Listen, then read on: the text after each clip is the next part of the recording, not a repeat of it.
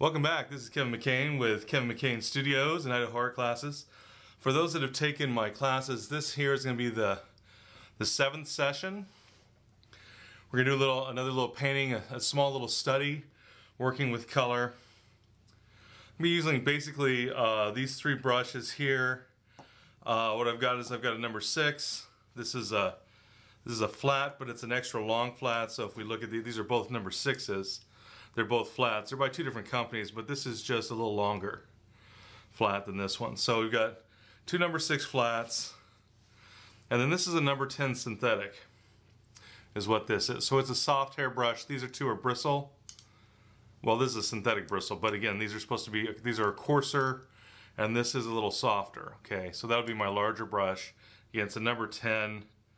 I don't even know who the, whose brush this is. Oh, I guess it's a Robert Simmons. Okay uh, titanium. So we're just going to put these over here. I've also got my palette knife here for if I if I need it. Usually with a palette knife, I only I only mix up with the palette knife these initial mixtures. Uh, everything else will be mixed with the brush. We've got paper towels here. Uh, though not preferable, I have taped down a piece of, of just of canvas. It's prepped canvas, it's gessoed, all that good stuff. What's not, what I normally wouldn't do is I wouldn't use this blue tape. Usually you want a neutral tape so that the blue doesn't affect your color choices. Uh, it may not seem like that'd be a big deal, but the more you paint, the more you realize you're really affected by what's around it. Um, I couldn't find my more neutral stuff, so we're gonna have to deal with it. So I'm gonna have to keep in, in mind that that blue there is is there and not to let it affect my color choices. Um, in terms I've got some minerals so over here to the side you can't see but I've got I've got a thing of mineral spirits. So I've got my brushes and all that good stuff.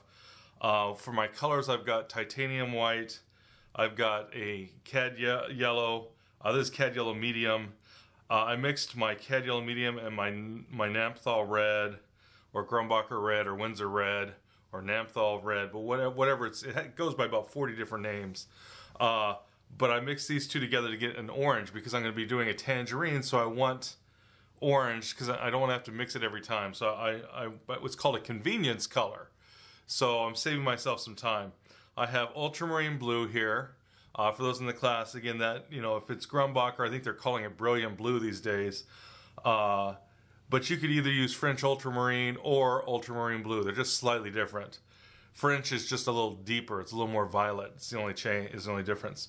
Uh, this right here is is ivory black. Uh, for those that don't want to use black, if you're not in the class, you could use Payne's gray. You can mix burnt umber and phthalo blue, whichever. But this is again, this is ivory black, and these are just two grays that I've mixed with the ivory black. Um, this is burnt umber, and then we have two grays that I've mixed with the burnt umber and then I just realized usually I, I, I, I have three I should have three. And so we're gonna just take a little bit of this and make a light gray. That's the good old tinting strength. I didn't I didn't mix like I should have. And because of that I'm gonna have to use much more white. What I should have done is started with my white and then added just little bits. And I just slapped a big old hunk in there and said oh I hope it's right. And that's you know let that be a lesson to you that even if you're you know, there's certain times if you're not thinking, uh, it's it's never in your things don't usually work as much in your favor. Now it's not a big deal. It's like oh well, it wasn't so out of bounds that I, I knew I'd have to scrap the entire mixture, but the moment I, I did it, I just realized, oh, I made a mistake. That's not what I should have been doing. That's okay. We can always, it's paint. We can always go ahead and and uh, correct it. I'm to do the same thing for my brown. We're to take a little bit of this, a little bit of this uh, and mix a light. And again, this is just titanium white and burnt umber, which I'll just, from now on, I'm just going to call my brown. Now, for those of you that are, again, in the painting class, I'm going to move at a little quicker clip than I did last time. I'm not going to stay, I'm not going to do it as slowly. So we have a couple more objects instead of just one object, and we really need to, you know, even so, this is this this demo is probably going to take at least an hour, maybe even an hour and a half.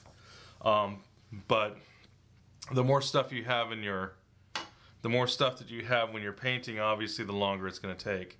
So um, I didn't tell you what this is. This is just this is just a mud. So when I cleaned my palette, I scraped it all together, and this was from last week when we did the apple, so there was a lot of red. And so what I have here is I have a neutral, warm red. It's a red with a low, it's sort of a medium to medium low chroma. Uh, and uh, it, the, the hue is red. The value is about a step six on the value scale uh, as far as that goes. Maybe it's between a step six and a step five, but it's somewhere in that area. Uh, and so this will be, again, we can use this to help us neutralize colors. So in terms of, I'm going to have on the video, you should, there'll be a little clip of what I'm painting from. We're painting basically a, uh, a clay apple. Well, it's, it's, it's, anyways, yeah, it's a clay. It's supposed to represent an apple uh, that's made from white clay. And then we've got um, a little uh, little tangerine, though it's really small. Like I can't believe how small these tangerines are.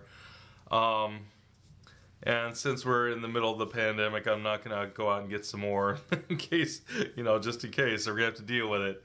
Um, and then we've got it sitting on top of the wood cube. So what we're going to be dealing with is we're going to be dealing with a high chroma object like the like the tangerine we're going to be dealing with a medium to medium low chroma object like the wood cube.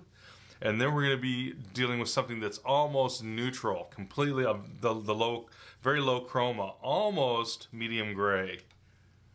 Um, the light source that I'm using is yellow orange, which means we're going to have blues, blue to blue violet casting in the shadows. Um, we got yellow orange, yeah, should be blue violet. Um, so, and that's the complement. The shadows always try to, you know, we'll try to bring a little bit of the complementary color in there. Um, now it's it's also in uh, in context. When I say blue violet, it's very soft. So it'd be like adding blue violet to orange, which is going to give us a brown. So understand when I say stuff like that with light, it, it just softly um, influences what we're doing. Now I've got this I've got some areas here where it seems like we've got drier and wetter areas. I don't know what that's about. Makes me wonder about how good the, the, the canvas is. This isn't anything great. This is just out of a, this is real canvas, but it, it's out of a, a little sketchbook uh, of, of, of Fred, it's a Fredrix canvas sketchbook. So it is true canvas, but it's it's it's not going to be near as nice as you know their canvas panels or stuff like that. I'm going to go ahead and we're go I, I wiped off the excess and now we're just going to get started. I'm going to draw this in with a neutral uh, gray and we're, we're going to start to place our image. We're also going to do a lot of, I'm going to do some creative, um, use my creative prerogative and what I'm going to do is we're going to simplify the scene. Now the first thing is I have to deal with this with this cube. And I am painting flat, which is kind of weird, but it, it, makes it a little bit easier for the camera. Uh, so that's nice for you guys, not so nice for me. But we're going to go ahead and start by dealing with this cube and asking ourselves what is the view that we're seeing this cube in. It is a corner view or for those that know perspective, it's a two-point perspective view. Uh, it looks like these angles should be splayed out a little bit more. So that's now would be the time to do that. And that just means the angle will open up. So we're going to open that angle up, and that will in turn will change the way this these angles go. So it, it's in other words, it's gonna we're to see less of the top is, is what that's to change. So I'm to go ahead. Now I'm to put an image on here to show you what I was painting from, but always remember that it's it's really hard to get the exact same image. And again, I've I've uh, I've done this too, where I've watched people's videos and I'm like, man, they're not painting what I'm seeing, and it's just because of the fact that they've got a slightly different view. It is really difficult. I've seen very few places where they've actually been able to match it because it takes it, you know, it can take almost an hour and a half to get the exact view with what the artist is seeing, and they'd actually have to view the footage and the film and you know really match it up. And most people just aren't taking that. It just even you know professionally, they're just not taking that that sort of time. That's that's a lot of time uh, to do, and so um, and so it's very common. So if you're if you do that, and you're like, well, goodness, that they're not even looking, hardly looking at it. Look at that. It, it's not even what they're. that's not what what what they're seeing. Uh, just remember, it's because again the, of of what's happening. Um. Okay, so there are times when we do we make good choices, times when we make bad choices. That right there. I decided that that's not where I want that. So don't be afraid to go. Mm, no, I ain't doing it. I'm not doing that. It's not going to work for the picture.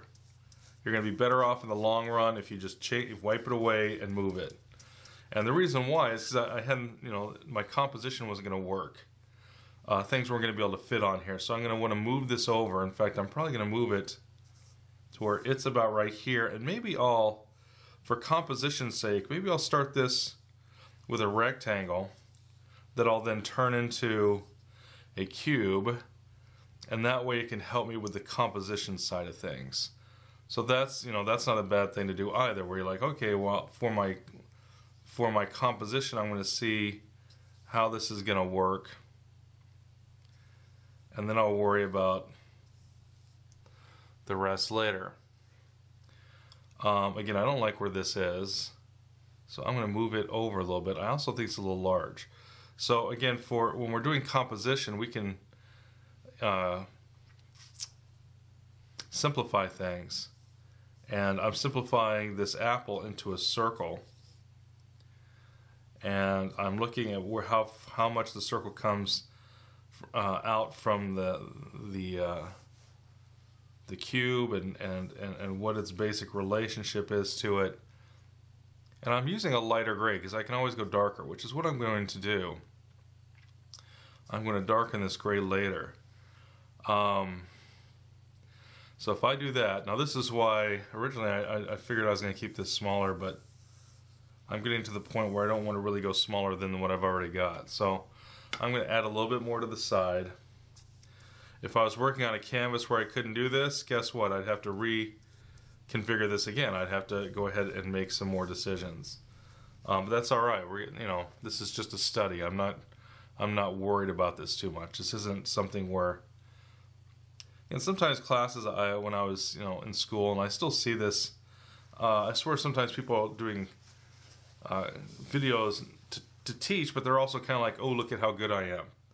You know, like it's uh, you know, it's it's it's it's a port, it's, it's a piece to make people go, "Ooh, I'm just so intimidated by how good this person paints," or what have you. And that's not what this is about. We're we're really trying to simplify this down. Uh, this is really just trying to be, hey, here's how I make a painting. Uh, this is not where I'm going to try to make you guys like, oh, look how great he is. We're not we're not doing that. This is going to be basic technique. We're using basic color, and don't get me wrong. In the beginning, this is still going to be plenty hard. It's not like we're dumbing down the information and, and you're gonna, you know, not learn anything. You'll learn something. It's just I'm I'm just letting you know right now. The aim of this is to really show the process, and not to be like, oh, is this is you know just me performing on the on the stage. That's not. I don't. I've I've never been excited about that as a as an art educator. Now i have been a professional artist for near 20 years. So when you're doing that, then yeah, you have to you have to bring it. You know, and, and that's and that's fine. But for you know just people that are just getting start starting out, you know, and people in my class painting one, that's that doesn't really help anybody. You want to go ahead and say, okay, let's let's distill this down to the easiest easiest way to deal with this stuff to help you so you can actually learn and not be intimidated by it. There's, like I said, painting is hard enough. We don't need like any extra, you know, intimidation factor. Um, pardon me. So,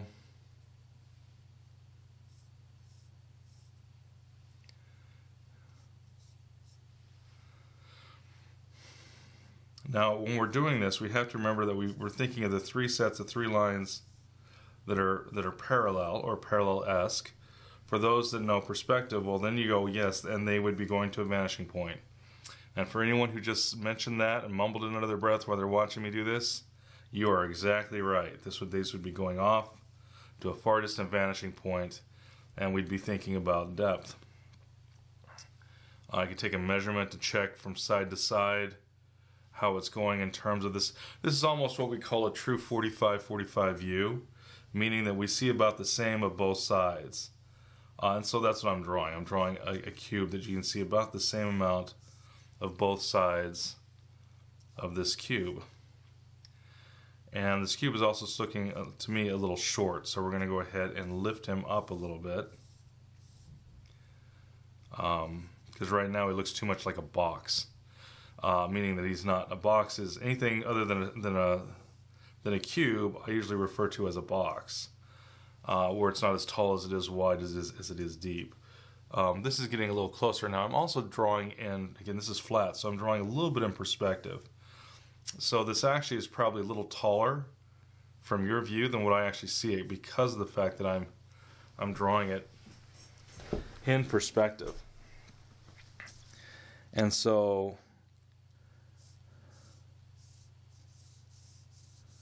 Now I'm standing to take a look at this and I go, yeah, now it's stretched and now it's almost a little too tall. But it's not, I'm not going to worry a ton about this. This isn't, you know, it's not like I'm doing a cityscape or an architectural rendering or something where you really got, again, where we really have to bring it. We just have to have enough information in, in, in a clear enough way that it looks like it will work. So again, are these three lines, again, parallel or are they actually converging slightly? That's the more important thing to be happening here with our little with our little cube.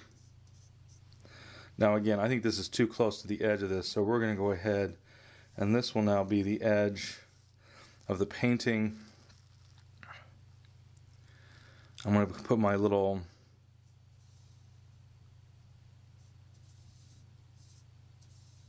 This is going to be the little tangerine right about there. It's so small. It's, in fact,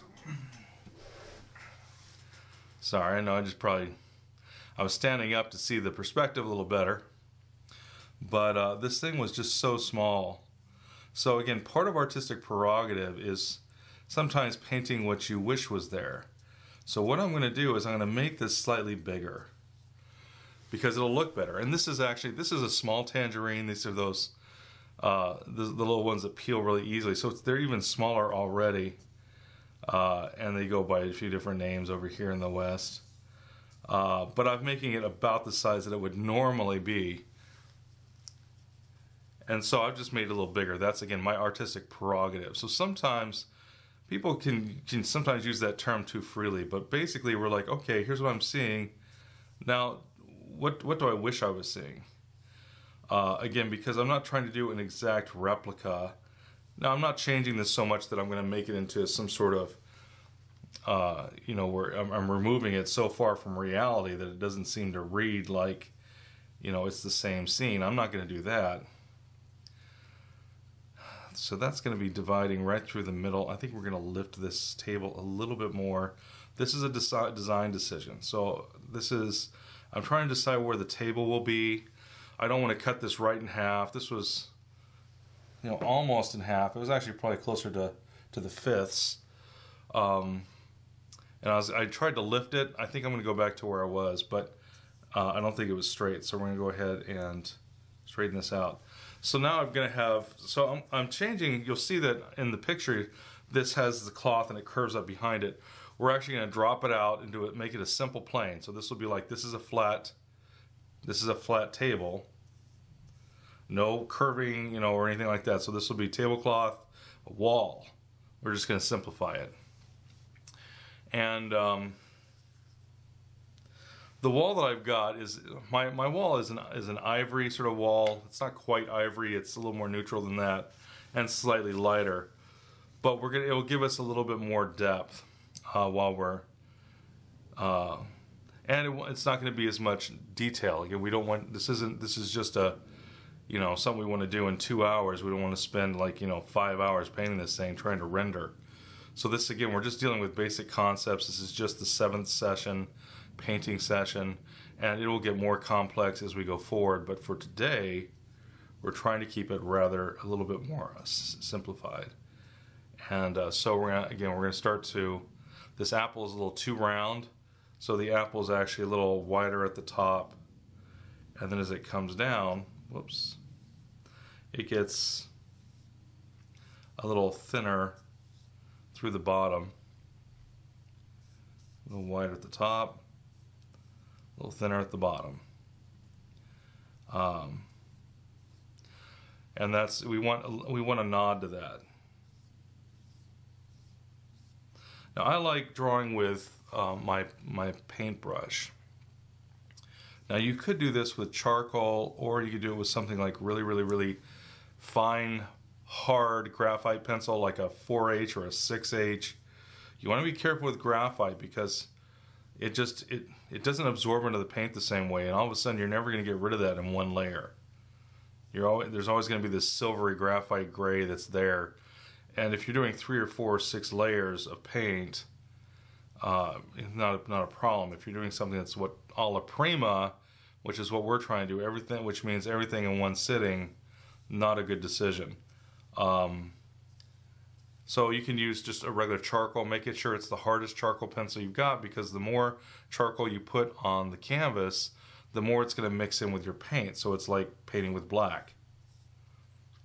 If uh, and some people really don't like that. Now, I don't have a problem with black because as long as you know how to use it, it's not a problem. But for some people, you know, they've been told that it can't, you shouldn't do it, never do it, all this sort of stuff. And so they don't like to, to do that. Now, I was just checking this to check where this apple is in terms of. So you rarely want to cut something in half. This is cutting this right in half. Um, and that's a composition thing. So if that's a big deal to me, well, then I would move this out. Uh, either move it out this way or move it out this way, or move it in this way. Um, for this one, I don't really think that it's a big deal, but I'll do it anyways. Normally, I'd be like, okay, I know I wouldn't do this on a, on a final sort of a thing, but on a on a little comp like this, it's not a big thing. But we're going to do it anyways. Let's go ahead and act like we're trying to, you know, this was something we want to, you know, enter in like a local competition or the local fair, you know, painting, you know, comp- whatever. Uh, so we want to sort of crank it up. Well, then we just move this over. Is all we would do. We'd have to go over here and go, nope. And so checking this, this was slicing this in half or does this slice the tangerine? It doesn't. Try, it's it's not quite in half. It's kind of a third and two thirds. Actually, it's probably two fifths versus three fifths, and that's fine. And you might be like, "What's the deal with the fifths?" Well, that's that's a classic.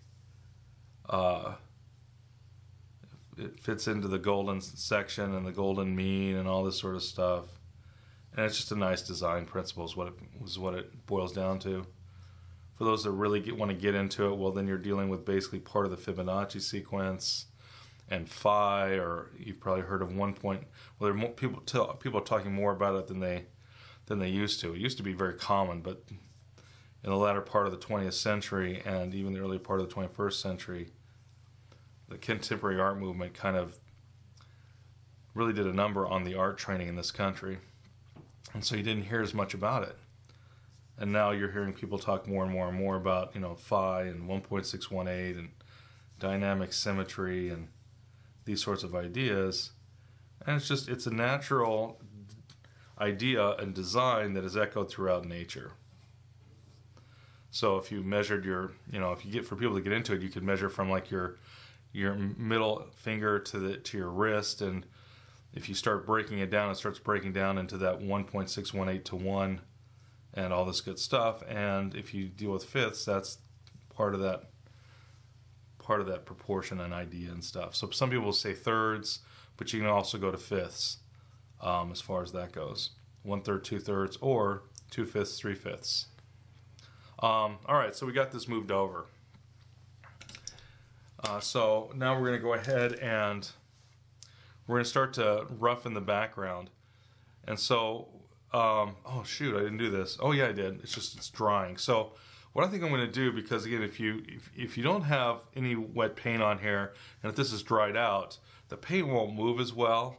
So uh, we're going to go ahead and put sort of a thinner, uh, a little bit of a thinner wash down, and then we're going to go ahead and um, take a little bit of this orange, take a little bit of this blue, take a little bit of this red gunk. And what I'm trying to do is I'm trying to neutralize, I could use the brown too, um, uh, trying to make this sort of a neutral yellow orange. Now this has a little bit too much yellow because if I'm not careful, this will start to look like, you know, the wall will start to look like it's got jaundice or something. Or, you know, it's, it's sick or something like that. Um, so, and we don't want that. So we're going to go ahead and we don't want it too yellow. So as we lighten this, it's going to go ahead and start to get lighter. We're going to come right back. All right, so this is again a little bit on the yellow side. I want a little bit more red to it, so we're going to test a tiny bit of that red. Now that red has a high tinting strength, and look what happened to that. Now we got pink.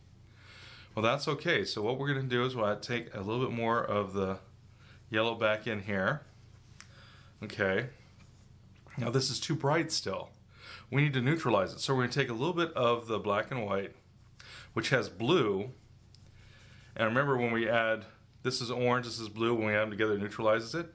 Well, this is orange as well. And so when we add this blue to it, it's going to make it more neutral. Now it's too dark, so we're also going to make it lighter. Okay, so we need to keep this, again, fairly neutral. The problem that people have when they first start painting is they have their paint it's just too bright everywhere, and, and they don't they can't deal too well with neutrals. Um, now that's fine, but it's again too dark. I think it's in fact most of it's too dark. I'm going to go ahead and move this over because I think I'm going to use some of that for the the cube.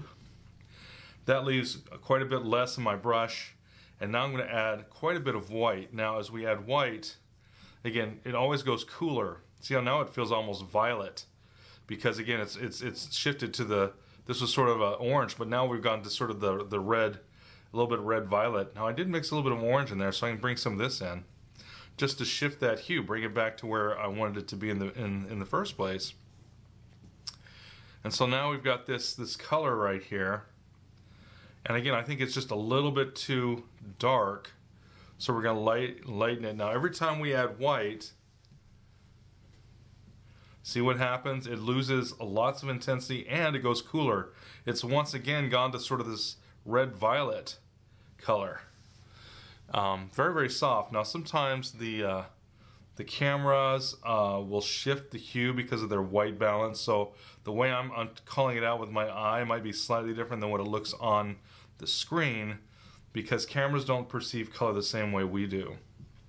Um, so again, I'm, I'm, I'm making this lighter. Now again, this is where I'm sort of chasing my tail because I've added all this white and it's still too dark. So I'm going to take most of this and I'm going to put this over here.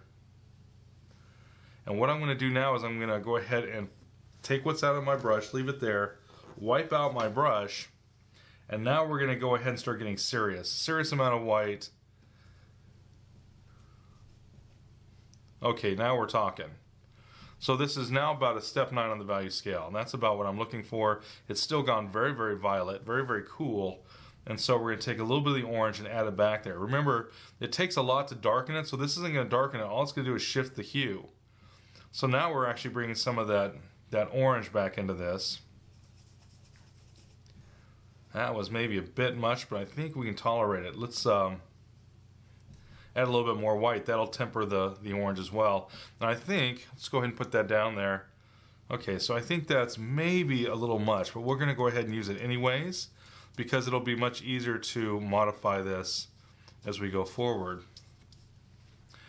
Um, I'm going to go ahead and do one other thing. I'm going to mix a, uh, a lighter, cooler version. So I'm going to add a little bit of blue to this over here. Cooler meaning that it has blue to it. So warm and cool Orange, yellow, and red or warmer. Blue, green, and violet are cooler. And I'm using it now. There are a couple different uh, ways that things can be uh, warmer or cooler. When you're adding it to paint, though, usually it means, look, I'm going to be adding either blue or violet or green to cool it, or I'm adding red or orange or yellow to warm it. There are three different variations but of, of warm and cool, and I'm not going to get into those right now. But when you're talking about mixing, usually that's what it means. when you say, oh, hey, I'm warming a green, that means you're adding red or red orange or something like that. If you say, hey, I'm cooling down an orange, I'm going to be adding blue or green or, or violet. So that's uh, sort of just a real quick uh, nuance on, on what we're talking about here. Now again, we're not. We're just going to start to. We just want enough background to indicate that there's background. Uh, we are not trying to. We're not doing a rendering. This is not photorealism. We're not dealing with that. We're just dealing with basic painting technique. So I grabbed a little bit of that gray that I pushed aside to, because this this light will go from lighter to darker, and so I got this this uh, this these darker grays over here that were just a little bit too dark for the light side, but they're fine for the shadow side. And this a little bit of the warmer. If I wanted to go cooler, I can add a little bit of the gray to then, which has a blue gray tone Blue is complement, which means as this goes over here, it's not only going to be getting darker, but it's going to get a, little bit of blue to that half tone. And if it goes into shadow, it's really going to start adding the blue. And so uh, when we first start painting, that can seem like, uh, what are you talking about?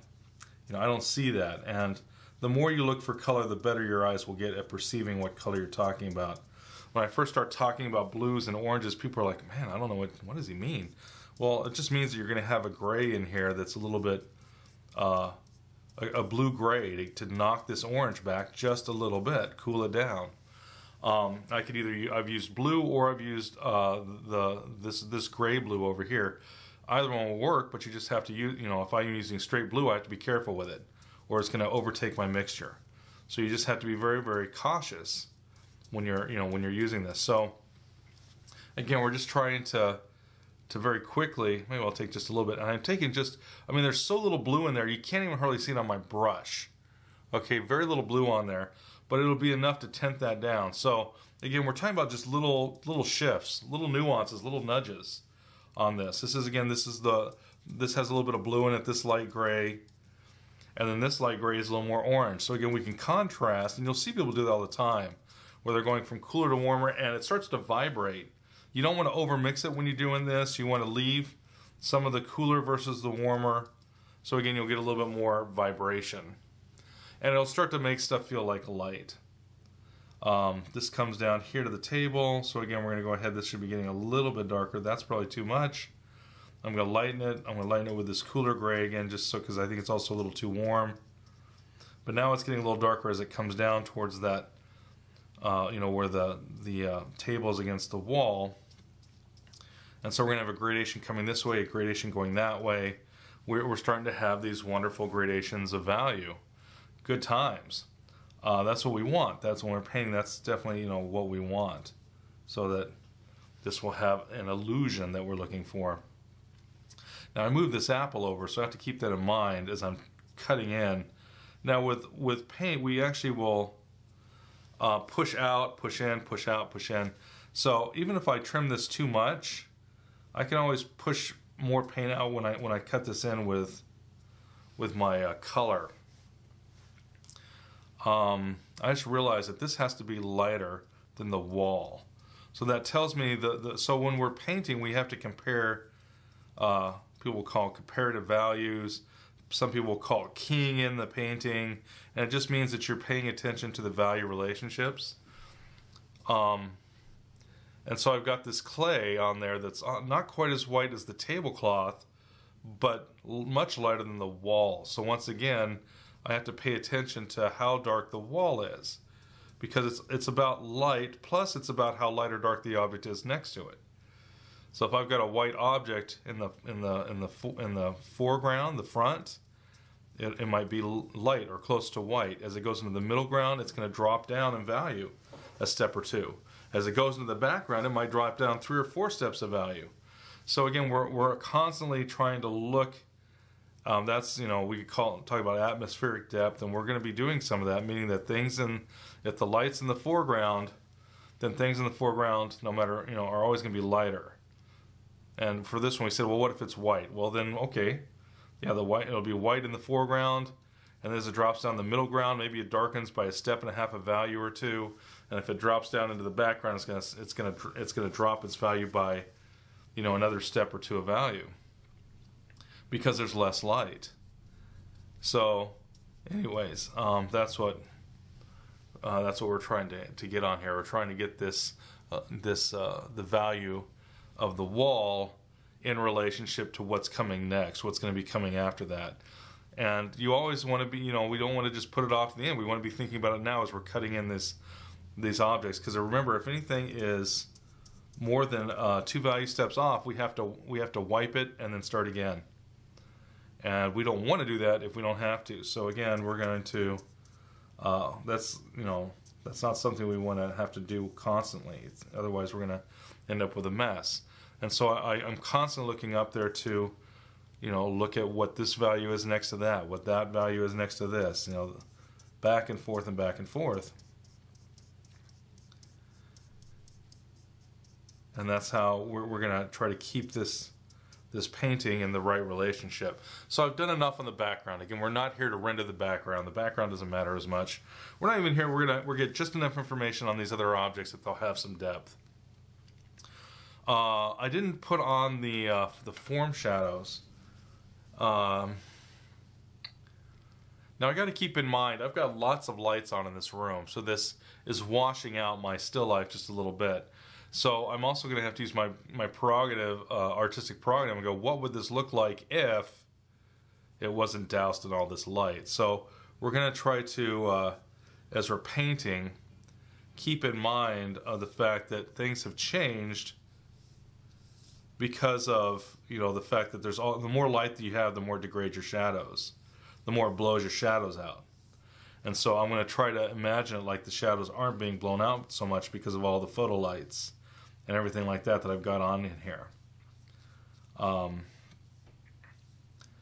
for using a better camera, I might be able to get a, you know, away with more of a low light situation, but we can still do this. There's going to be times where you know there's going to be more light on than what you might prefer unless you you know are in your own studio but there's still i have students all the time they're like turn the lights up turn the lights up and i'm like um, you're going to be blowing out the still life and then they end up with still lives that look like they're all blown out uh, because they're not going oh yeah well if i'm turning up the lights it's going to degrade my image therefore i'm going to have to compensate for that and you know go ahead and make it seem like that's not the case um, just something to keep in mind. So all that means is that the shadows are going to go a little darker. That's the long and short of it. It's like, yeah, that's that's all great, but what does this mean for me? Uh, it just means again that the shadows are going to be a little darker. So we're going to go ahead and these are going to be the cast shadows on this uh, on this tablecloth. And these are actually probably still a little on the light side, but I'm going to start off with sort of the middle value. Shadows have uh, value relationships, or they they go lighter, they go darker. And again, this isn't. Uh, we're not going to try to take this to a super finished level. We're just going to try to get an, get it to a point where everything has the correct form shadows. We're not going to be doing detailing. That's not the point of this of this lesson. We're gonna we'll do some more stuff like that for the intermediate classes and the advanced classes and things like that um, and the studio classes and all that kind of stuff later on. But for right now, we just need everything to have.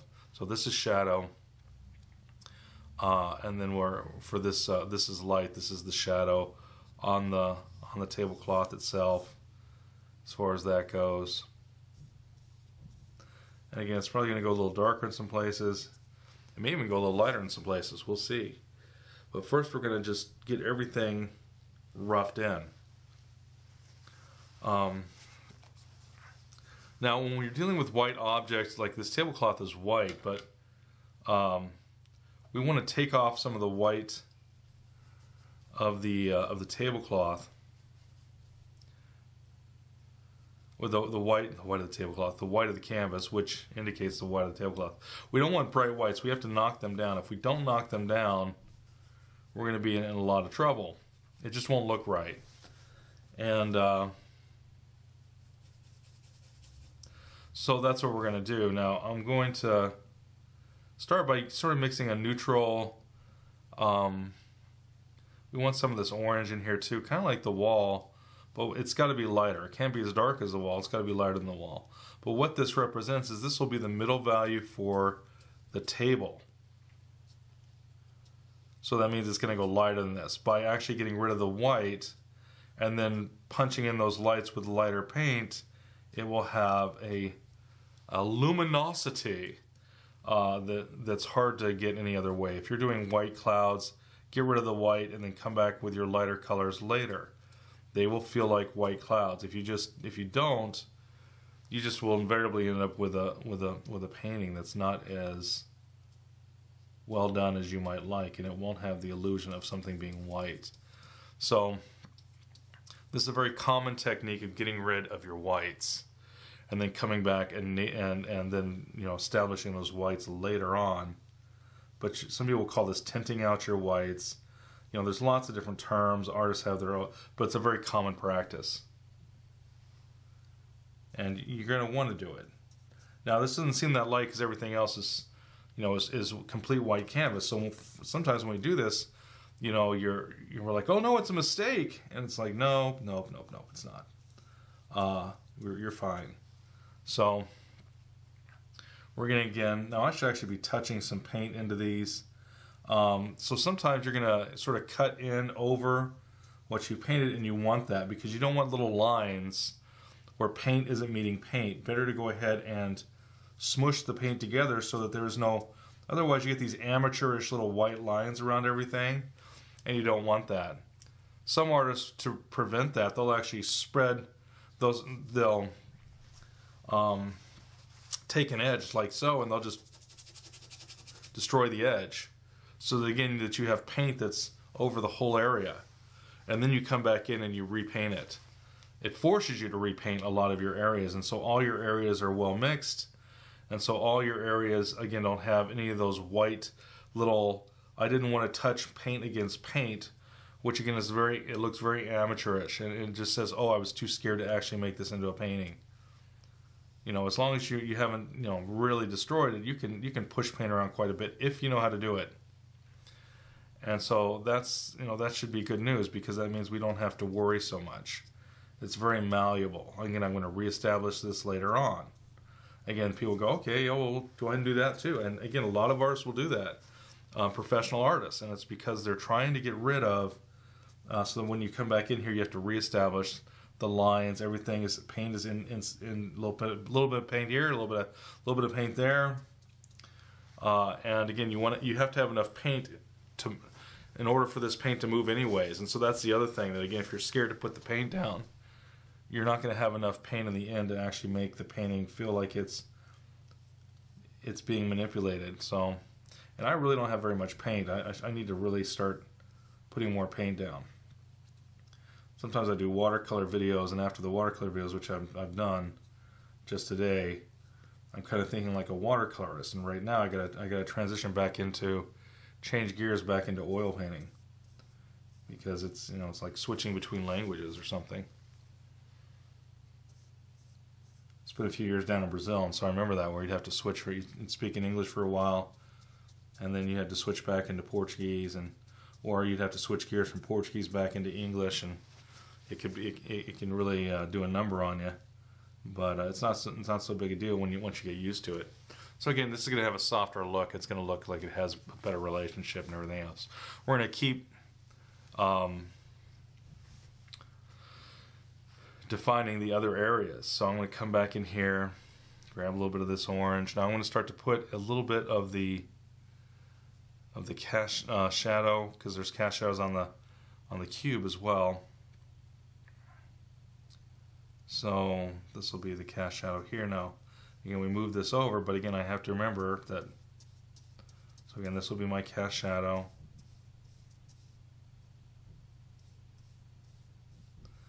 has a little bit of the blue in there, so we're to get a little bit of sort of a warm uh, orange green going on there.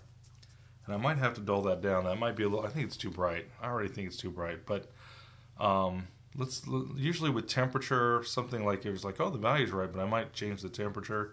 Usually we'll hold off on that until we have all the, all the relationships in because we can't tell what that color is until we've got all the colors next to it. Uh, so I'm going to start cutting in this, this cube. Now we're going to start with the lightest value of the cube, which is darker than the wall. and it's darker than, of course, the tablecloth, which of course is lighter than the wall. So, and we need an orange that's neutral. So we're going to start with this orange, and then we're going to add. Now I can either add this blue, but I have to be careful with it because it's so much more intense that it's gonna it, it can it's gonna do much more to the mixture. Uh, see how green that's going? So when I do that, I'm gonna have to compensate for that by adding red. Okay, that didn't that didn't temper this enough. So now we're gonna go ahead and we're gonna use the black. Now black will really absorb and knock down the temperature of a color. Let me use some of this sort of neutral red too, um, because if I'm not careful again with these with these bright colors, you add too much, and now you're you're you're way too bright. Uh, black will really, you know, really take out the, the, the chroma of a color very quickly. So will the brown and white, our, our warm gray, as we'll call it, our orange gray. Uh, it will as well. So we have to be careful of that as we're as we're, we're dealing with this. Now, again, I'm going to look at the uh, look at the uh, the cube, and I'm going to say, hey, what is what is the value on that cube? and the value is somewhere around a step 7. So, wow, I got to remember, I see that, this is what happens when we, so we got this red that's really bright, and I, I I'm, I'm sitting there talking, I'm not paying enough attention. But that's okay, this needs to go lighter anyways. Uh, we'll go, we'll, we'll lighten it with the white. That's going to push it slightly cooler, slightly redder, and I'm going to lighten it a little bit with this gray. So again, I can knock out some of the uh, some of the temperature of this thing just a bit. And again, step seven on the value scale. So I'm, I'm getting this to the point where I, I feel like, you know, that's where we're, we're hovering at. Okay. And so I'm going to go ahead and say, all right, well, this right here, now that's probably a little bright. So I'm going to temper that with a little bit more of this gray. Uh, they're almost the same value, so it's only going to lower the intensity. So I'm going to go ahead and put this down. Now this has to be darker than the wall. Okay, done. That's what it is. It's darker than the wall. Since it's darker than the wall, it's also darker. So the lightest light of this cube is darker than that wall. Now part of the reason is because I have so much light bouncing around here.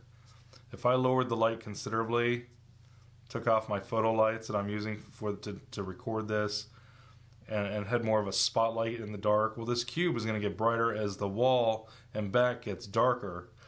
Sort of that Rembrandt lighting, as some people will call it, in which case it's all about relationships.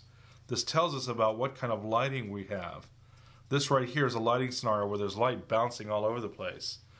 Um, and so you could, this will change depending on what the lighting is going to be. So don't think that this is going to always be the case. There would be a time where I could set up a lighting scenario where the wall back there is going to be darker than the cube. It all depends about light, since we're painting the illusion of light. Now we're going to go up here onto the top shelf, and that top shelf again is a little darker by a step of value than this. So again, our this value up here that's not dark enough. So we're going to take a little bit of the brown. Brown's got a little bit of blue, so it's going to go a little bit more. Uh, it's going to go a little on the green side. Um, so again, we're going to go ahead and put this in. And again, this is darker than this right here. Okay, so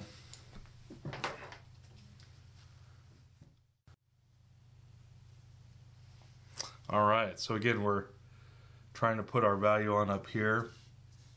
Value is a little darker than what this is right here, and I think it needs to go darker still. Now there's a um, something that happens right along this edge where you get two edges that come together. One edge goes slightly darker. Okay, so we're going to create a little of this illusion. So I'm going to come here with a little bit darker value. That was a little bit too much, but by the time we work that in, it won't be hardly anything at all. But it gets a little darker along this edge, and then as it moves over, it gets a little bit lighter. And that happens a lot with, with objects. Now, there's a highlight we haven't put on here either. The highlight will also lighten that. Now, we're not going to worry about the um, we're not going to worry uh, about things like you know the the uh, the grain or anything like that because for right now we're trying to deal with values. Uh, if we and and things like details have to conform to the values. If uh, if we start throwing detail in there and the details do not conform to the form shadows, it will always look flat. And that's what everyone wants to do. They're like, I want to go with the detail. Oh, the detail's so fun. Let's go the detail. And don't spend enough time with the form shadows. And that's where you drop the ball. Because if the form shadows aren't right, the details won't light, look right, and the illusion won't look right. It's all about this basic stuff. It's just like, you know, foundation for a building. Doesn't matter how cute the curtains are if the building's falling over because someone didn't take the time to check the foundation. So it's even more, you know, for us, it's even it's it's even a bigger deal, uh, bigger deal than that. So because if if we don't take the time to to get the illusion right, it'll always look like a flat painting. And the object that we're trying to do is, is, is have something that doesn't look flat, but it looks like it has depth and dimension. And that's what we want. Create that illusion. that make people go, oh wow, isn't that spectacular? And you're like, yes, it is. Or however you would respond, probably a little more responsibly than that, most likely. But, you know, we want to have something that looks good, right? You don't want something that doesn't look good. And it's all about, again, those form shadows. As this moves over, the light gets again as, as this goes towards a light there's an idea in painting not just an idea but to create the illusion of depth you always have one edge going lighter when one goes darker. So this is our lighter edge. That means this edge is our darker edge. But not only that as this edge moves closer to that lighter object it will the, the lighter area it will start to look a little darker. There's a uh, there's a term for that. I can I have to look that up because I'm always trying to remember what the name of the term is but it, it's something that photographers talk about all the time because it creates it's actually happening all the time whether we're aware of it or not it's there. And we have to you know again as as artists we want to give a nod to what's actually happening. The same thing happens up here.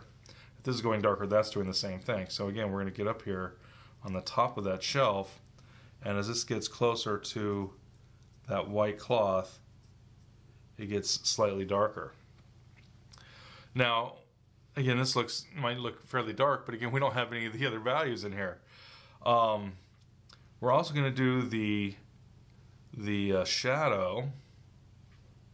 There's a cast shadow of this little tangerine over here, and so we're going to deal with the fact that we've got a cast shadow over here, and so our cast shadow is going to, you know, now we actually have to figure out what's going on with our with our drawing, which seems to be doing its own own thing. So we're going to bring this down over here. We're going to start to ask ourselves what's going on with this cube because this looks like we dropped the shelf. This one looks like we brought it up. So we better make a decision.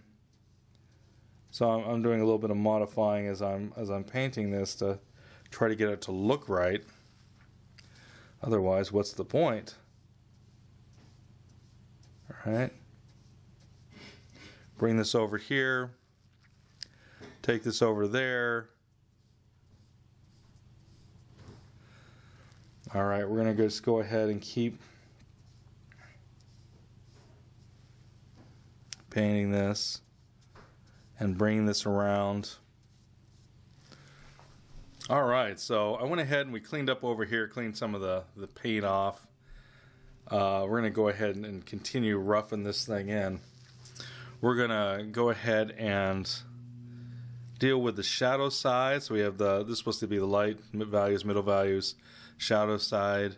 So we're going to go ahead and get a little bit of the, a little bit of the blue in there. That's probably a little too much blue, but um, Let's also see how dark this is. Uh, we want this to be uh, dark enough, but it has to be lighter than parts of this cast shadow. So again, it's all these all these uh, relationships become very important. And the shadows again, we're going to bring in some of the a little bit more of the the blues. Okay, so it has to be dark enough with the value. And uh, now I'm actually kind of doing this very, very, very thin because I'm actually trying to deal with the the drawing part of this. So this is way too thin for us to to leave this or work with this in any sort of substantial way. But it is helping me to kind of get this drawn in. So I'm just drawing with a brush. So sometimes, uh, again, there's a lot of drawing to, to painting, and and uh, this is one of them. We're cutting in this shape with a with a little bit drier brush so that we can actually get this to. Now this is sort of going out at an angle now. That's that's not a good thing. We don't want that. So I come over here. And again, we're going to try to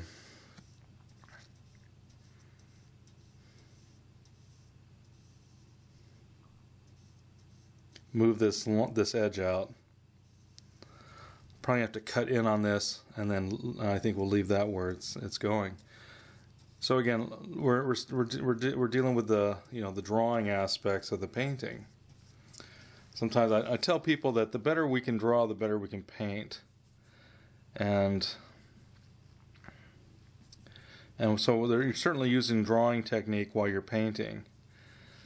Uh, sometimes people are like, "Well, it's painting. Why would you?" Well, drawing has to do with perspective and shape recognition and value recognition and angles and all that sort of stuff. That's basic, fundamental to drawing, and it's fundamental to painting as well. So they, they overlap. Doesn't mean that they're exactly the same in every way, shape, and form, but they do overlap in many ways. And so the better you understand drawing, which again is all about you know depth and of course, where it's depth in painting too, but all about perspective, all about it's of course about line, but it's also about shape and and value and all these you know basic relationships, and those are the same things we have to have going on when we're painting. And again, we're still just getting this roughed in. So so as we look at this, you know, we're going to get. Um, I think I'm going to change this to a little bit more of a, a, a little bit of violet in here. Um, but it's got to be dark enough so I can check the values to see if the values are dark enough to work with everything else. Uh, we're not going to get a ton into this right now, but as this comes to this edge, this gets a little darker. And then as it comes over, it gets a little lighter. There's not enough paint down there to do a lot of these transition stuffs right now. Again, it's going to be darker this corner. It gets a little bit lighter as it comes down because of reflected light and then it also gets a slightly darker down in this corner because it starts to pick up some of the reflected value of the shadow as far as that goes too. Okay, but we're just gonna so this is still the rough end part of this of this painting. I'm gonna go ahead and rough in the uh, little tangerine and the uh, and the the clay apple. This is just a, a it's made out of, of a light clay, a light gray clay. And I use it in my classes to get people to start to be able to look for, again, the form shadows. We're going to um, put in the, the shadow side, the a lot of, okay, so I'm going from orange to blue so the way we're going to do this, because again, I can rinse it out, but it'll never get all that out of there. So I'm going to grab a little bit more blue and um, work it in. Now this is a little stronger than what I want, but that's okay. Better to be a little stronger blue because we can dull down that much more easier than brightening up a too dull a blue. So, and again, we're going to go ahead and we're asking ourselves how dark is it? It's darker than this. Whoops but it's not as dark as that. So again, we're, we're looking for these relationships. And I need to, again, we need to overlap the paint so we get enough paint down, all this good stuff, right? So we're going to go ahead and put this down here. Now this is apparently the same value as that cast shadow. Now it's not that way in the in the still life. So this is, for now I'm going to allow it, but we're going to separate this later so that they don't bleed in. They don't. They're not the exact same value. We don't want to keep that that that relationship there because it's wrong. Um, go ahead and put that in here. This gets a little bit deeper, so maybe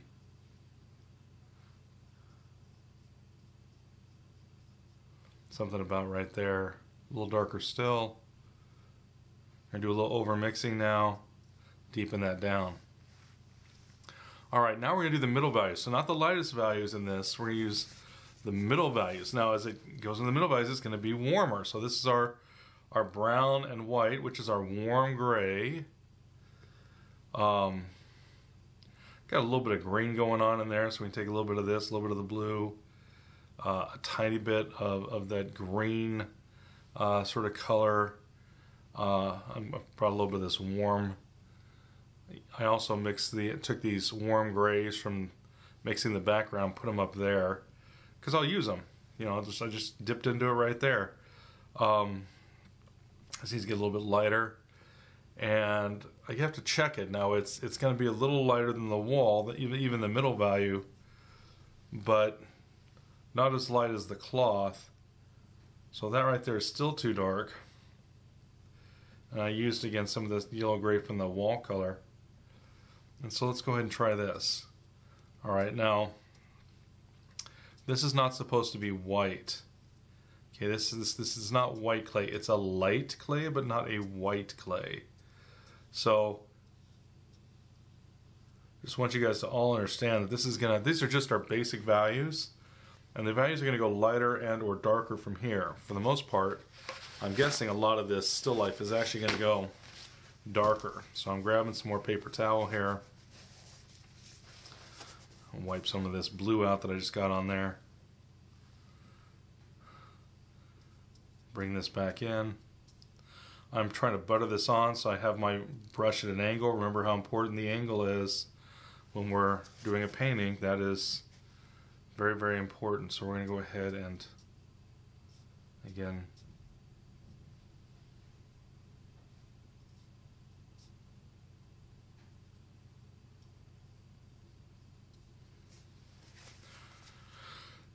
bring this in. And this is again to get us, we're getting to the point where we almost have everything covered, and then we can start to ask ourselves, where did we get it wrong? it's always going to change. That's not a bad thing. We're like, okay, that's the, just the starting point, and then we're like, we're going to modify A, B, C, or D. So uh, I chuckle because that sounds like you know you, are never going to get it right the first time, and and you know it's just that that's fine. Uh, that's totally fine because again, this is just the beginning stages. This is like the first time you sit down at the piano to practice a new song.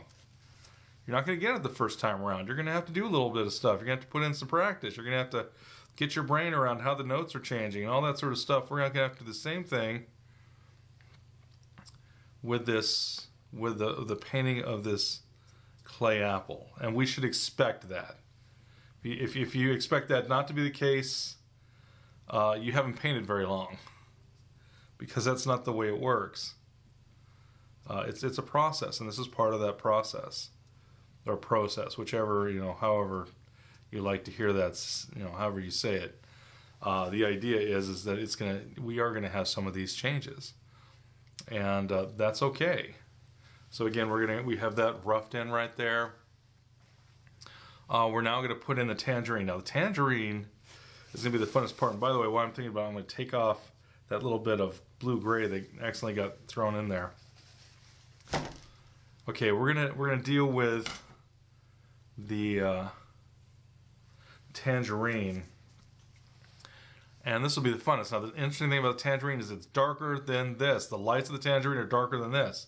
So sometimes people see, uh, let's go ahead and just put that, that straight orange. And this orange is brighter, but it's darker than that. So again, this is why it's so important when we're painting to learn how to deal with values. And I think that's a little bit too light. So we're going to deepen this with just a little bit of brown. That was too much, so we're going to take a little bit of the red. Whoops, too much red. Pull out the rest out of our out of our um, brush here. Put some more yellow in there. Put a little bit more yellow in there. Okay, now we're talking. Um, maybe just touch more red. Um, so again, now we've got this a little bit darker. Um, for uh, usually I like to try to get the middle tones, uh, the middle values when we're when we're painting, and we're looking for the shapes. Again, what's the, what's the value? What's the shape? What's the value? So when, whether you're drawing or whether you're painting, the the question you're always asking yourself is, what is the value I'm looking for? What is the shape I'm looking for? What's the value I'm looking for? What's the shape I'm looking for? Went ahead and jumped into that that, that straight orange on the edge because that's going to be getting lighter and a little brighter. But right now, this is the darkest thing in this entire painting is the tangerine. It's also the brightest in terms of its intensity. Uh, by putting this on here to make this look brighter, this has to go duller. So now we know, oh, this is too bright in a few, in a couple places. So again, this is why it's it's key to get everything um, put in the painting so that you can actually start to make observations and from those observations make better decisions about how you're going to take the painting into a better uh, and improve upon it and, and do what's best for the for the painting itself. And we're going to want that. It's gonna it's gonna help in all kinds of ways. Um, a little bit of light that's still over here so we brought that straight orange in now this again is still flat. We're not painting all the different, we're just trying to get for the, what's the light side versus the shadow side. Uh, there's a little bit of, it almost goes a little bit on the, you know, we said those, there's some blue violet in the shadows, which means uh, we're to take a little bit of violet. Uh, it's to be a little bit of redder because of the orange itself. So we're mixing up the shadow side of our of our orange So the shadow side of our orange is going to be something close to about right here. It's actually a little bit darker than this, but this is supposed to be the middle value in the shadows. So we, we, we look for those middle values in both the lights and, uh, and the and the darks. And that's how we're going to start our drawing, or our painting in this case. We do the same thing if we're drawing. Wouldn't be using a brush though, but we'd be still doing the same sort of ideas with our with our drawing as we would be with this painting. So we're going to start off with the shadow shape, which is about like this. There's a little, there's a little, it, this folds over, and then there's another little bump, and that's what's causing that. And there's a little bit of that happening down here too, where there's another little bump. So we can put some of that down there. And this is the basic um,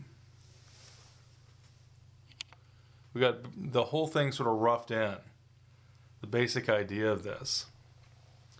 And now we can actually start painting. This is just the, the beginnings. This is the rough end. This is the, be- the beginning of the painting. It's not the end. It's just the very, very, very beginning. Okay? So, uh, there's a little stem up there. And I got too big of a blob, but that's all right. I can come in here and change that later. It's all good. All right, so now that I'm, pardon me, now as I'm looking at this thing, uh, we're going to go ahead and start to, this, I think this wall value needs to go a little darker in some certain places, so we're going to deal with that um, as far as that goes. And so, hmm, a little too bright actually.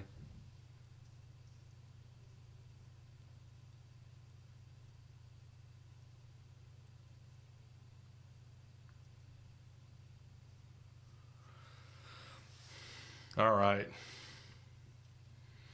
Bring this in. A little too much. Now there's just enough paint so we can actually move this stuff around, which again is what we want. Don't want that little ghost line that we've got there, so we're to take that out by, by darkening this. A scotch, a little bit, uh, a smidgen, as my grandmother used to say uh, when she was cooking stuff, a dash of this and a smidgen of that. We're doing the same thing. Little touch here, a little touch there. Why not? Why wouldn't you?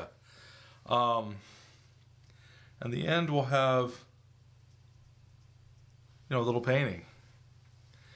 And maybe to, to celebrate, you'll go and make yourself some cookies. Uh, not not a bad idea uh, sometimes.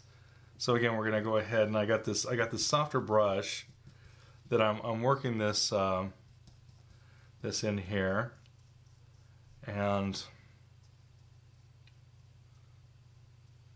so keeping it fairly neutral because again, it's it's not supposed to be bright. We want to be very careful that this does not go, you know, too bright.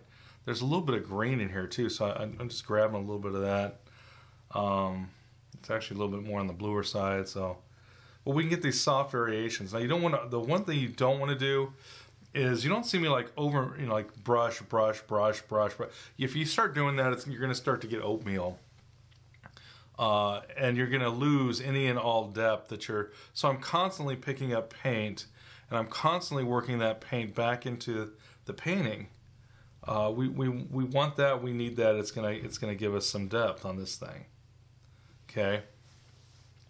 And what I'm trying to do is I'm trying to make it so I darken the wall a little bit.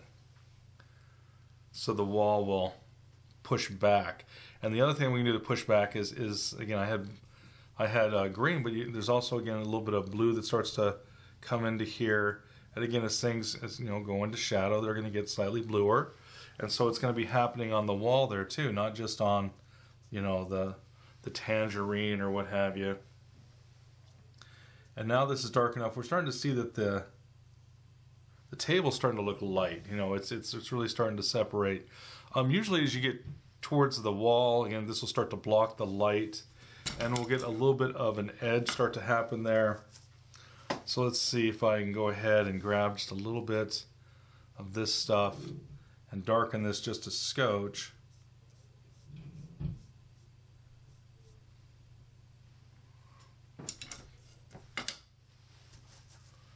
As it as it gets as it gets closer to that wall, there's going to be a, a gradation of tone and value, and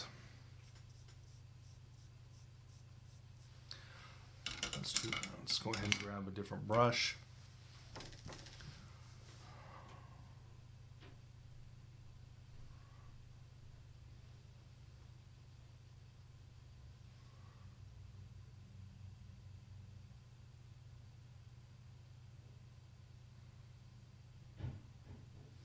So we're going to continue to try to get, again, some gradations going on in here. You know, it doesn't take much. I'm using very light pressure I'm trying to keep the brush at an angle that's more parallel so I can, you know, I can work this around. And again, we're starting to get a nice, you know, sort of gradation here. That's too dark. Bring this up. Bring this in now. Okay, that's that's better. Um, we want it to get a little bit darker down here. That's too much again. But go ahead and just put this together soft, you know, so, soften those edges as, as it's coming forward.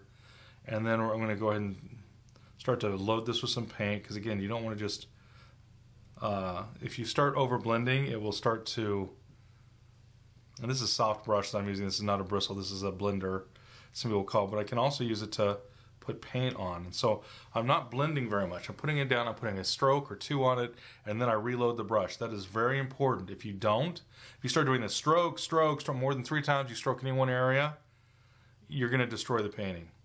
You, there's there's like a, a, rule that if you stroke it once, that's that's perfection. You smoke it, you stroke it a second time, that's that's good. If you stroke it a third time, you can deal with it. It's plausible. It's great. Any more than that, you have to load up the brush and start again. And if you don't, again, you'll end up with this these awful textures. You'll pull all the paint off of it. You won't have any ability to blend. You, you know, you just start losing on all fronts. and it's it's not it, it's it's it's not fun. It, it's not what you want to have happen to your painting. Who would? So we're gonna go ahead and bring some paint against that a little bit.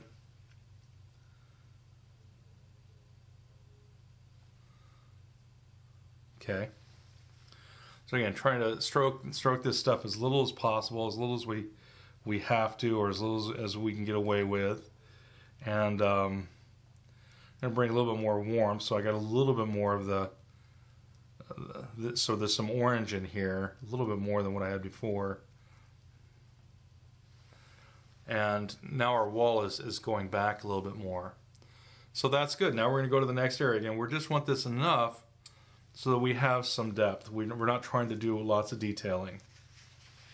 So we're going to go forward. So now we're going to ask ourselves, well, um, how dark are those shadows? Now, uh, the cast shadows, that is. And the cast shadows, depending on where we're looking, and some are getting degraded again by, by all the different bits of light.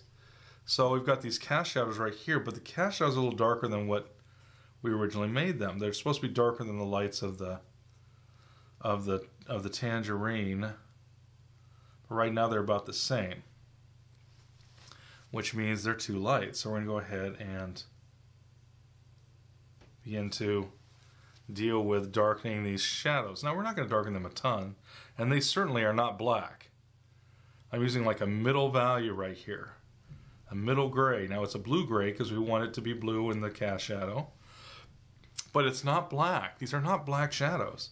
Uh, I'm not going to get rid of all that lighter gray. We're going to want some of a transition. And there's going to be a couple places where it's going to get slightly darker than this because of, uh, you know, the occlusion shadow and, and things like that. But there is going to be, we want some of this original paint so we can make it slightly lighter as it comes out. Um, as far as that goes, all that good stuff. Yada, yada, yada. Uh, we're going to go ahead and lighten this a little bit. You see we're munching into our into our cube a little bit. That's all right. We're going to come back in here. We're going to, you know, we're going to play with that a little bit more. So forth and so on. Not that big a thing. So we're going to continue to put this in. And again, this background stuff is not the main event. We're really here to look at the it's really about these three objects here. We need just enough information in these other areas so that it will look right.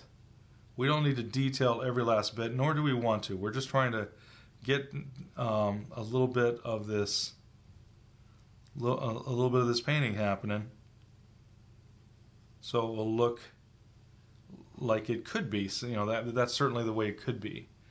Um, again, we're not sitting here to to detail this thing out or what have you. So we're going to continue to lighten this up. Or as that goes.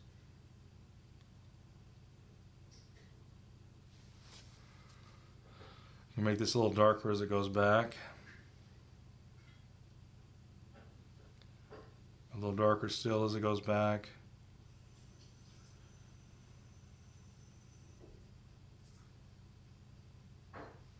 Come back in here, cut around there. So again, this is our middle gray.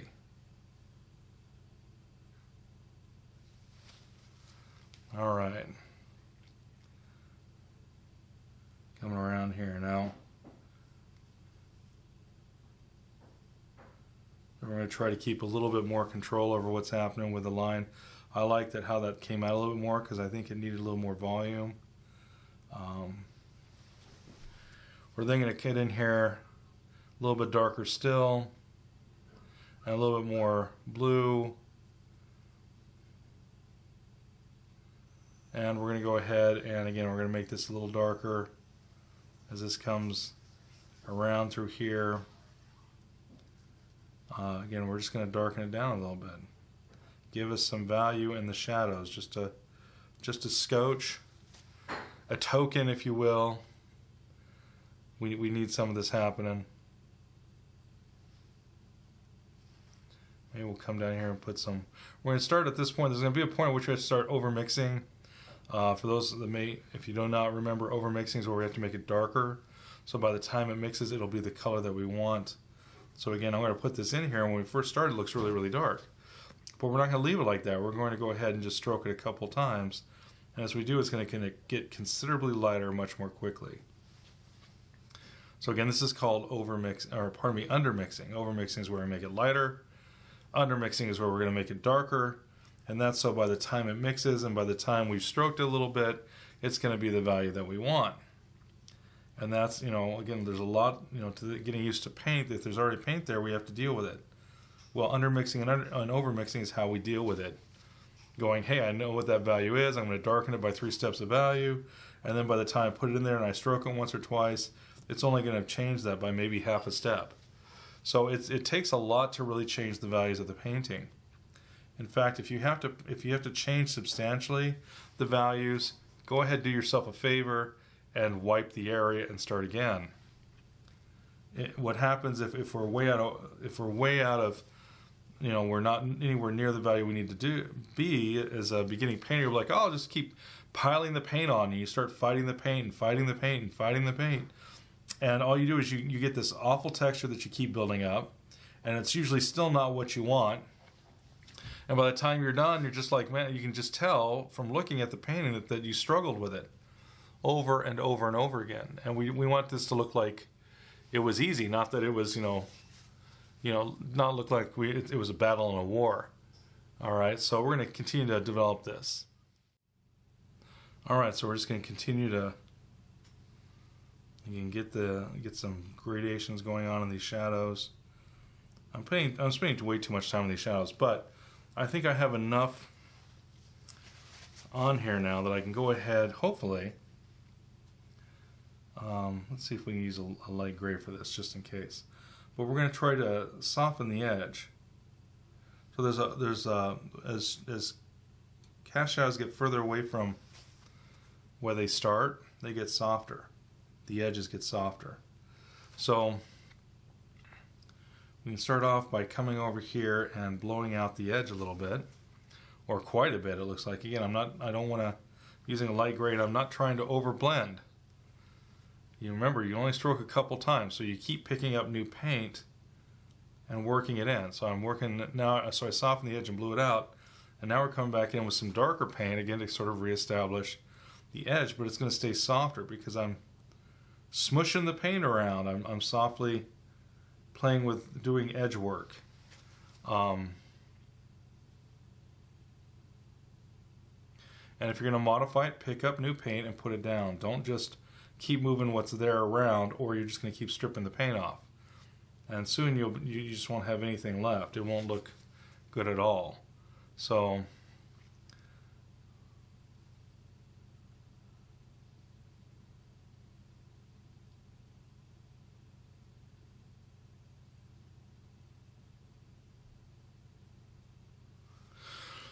All right, so there we go. We're gonna we're not gonna play with this anymore. We could, we could sit here and play with it for a half hour and make it look like it's just the most beautiful little shadow. But again, I'm picking up lighter paint. There's a little bit through here that just doesn't, didn't, I'm going to blow out that, that uh, the edge a little bit. Then we're going to come back in and we're going to blend back against it just a little bit. And we, that way we have paint on top of paint so that I can just blend the edge. And again, that can be a very effective way of dealing with our edge work, right? Now, again, this isn't, we're not dealing with photorealism, we're not dealing with even realism, we're not dealing with high amounts of detail, we're just not dealing with that. Uh, this is just to, to get basic, you know, basic things addressed, which edges are basic, they're fundamental. And so we don't want to make it seem like we don't care or that we don't understand. That again, as the shadow comes out from here, it's going to get a little, a little softer. Bring a little lighter gray there, soften that edge, and then bring a little darker gray and then just kind of stroke them together a little bit and that will soften your edge. Okay. Um, voila, so to speak.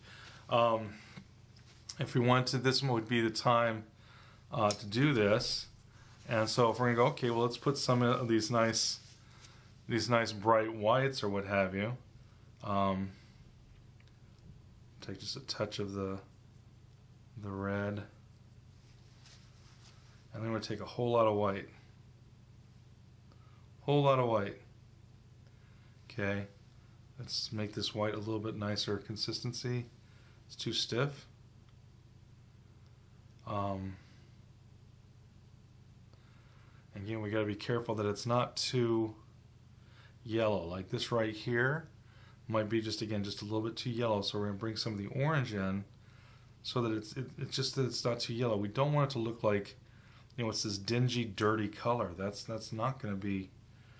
Now I got that too dark. I think I need some nice, pure, clean white. Okay. And so now what we're going to do with this, and this will be, again, the white where it's supposed to be.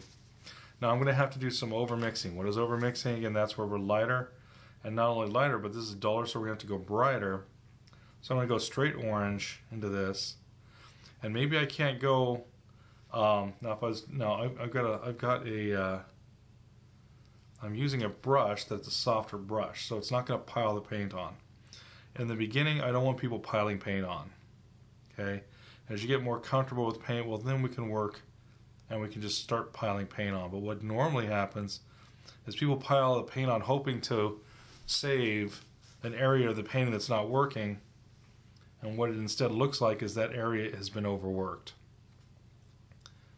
Uh, and so, and that's what happens. You just keep putting it on, little strokes, putting on, dab, dab, dab, dab, dab, dab, dab, dab, dab, until it's finally the, the value or the color we want. We're like, oh, isn't that great? And then you take it in, and people go, wait, what is? What did you do? And they're like, what? Doesn't it look fantastic? Um, and usually the answer is no. And uh, and I've been there. Everyone has to start. One th- wonderful thing about painting is everyone has to start at the same place. Everyone has to start at the beginning you don't get to start start at the end where you're all like, I'm fantabulous. No, you have to start at the very beginning where everyone has to struggle, everyone has to learn. You know, it's it's it's not something that just is gonna magically, mystically, you know, happen. And so what we want to do is we want to be able to make it seem like it was effortless.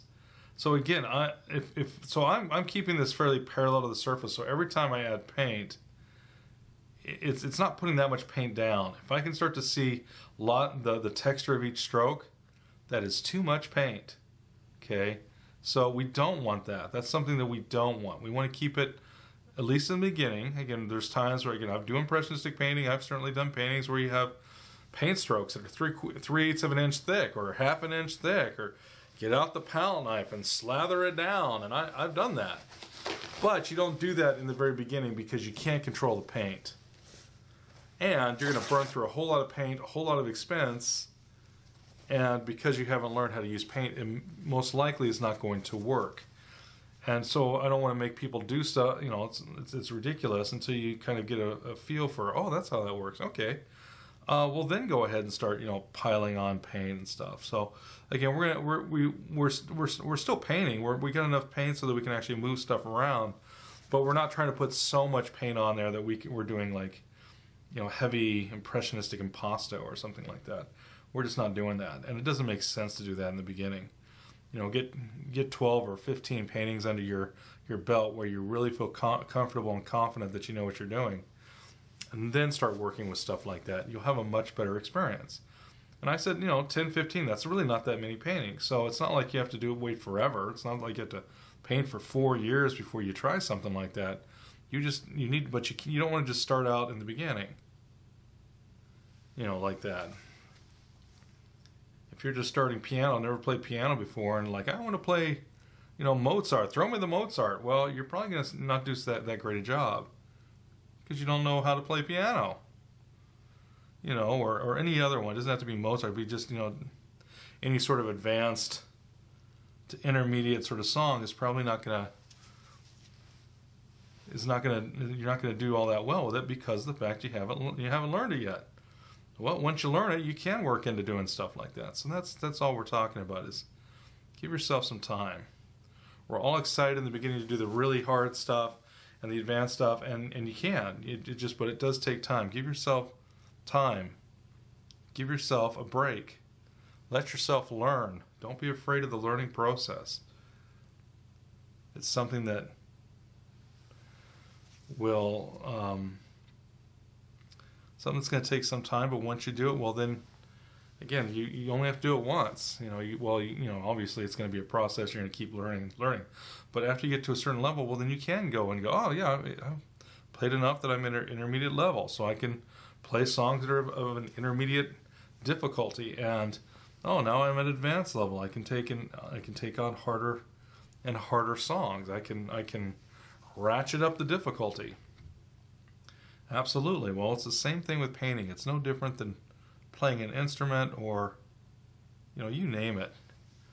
Uh,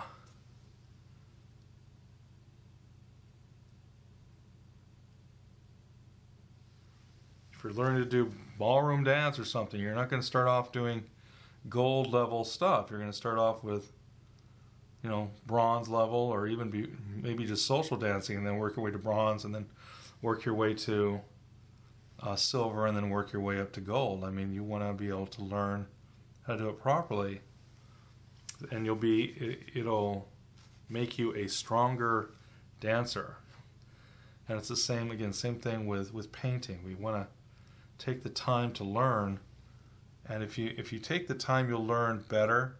You'll be stronger, uh, and and it'll just it'll just be much better for you if you try to go you know, uh, further than what you can, than what you're able, you first off, usually you're not going to perform as well. And then second, people normally will become very, very frustrated, and some will will even give up because it's so hard. Well, it is, and it should be, uh, because it's it's not something you just do haphazardly off the, you know, it takes some time. It takes stuff to, it takes time to learn this stuff know, there's a reason. I remember someone telling me this story about they had a friend that was like, "Yeah, I'm gonna," had never had never worked in a ceramic studio and was like, "Yeah, I'm just gonna go and yeah, I'm taking this class. I think I'll throw myself a set of dishes." And this other guy, you know, he was an artist and he he'd done some ceramics. That wasn't his major, but he'd done something. And he's like, "Yeah, yeah, have fun with that."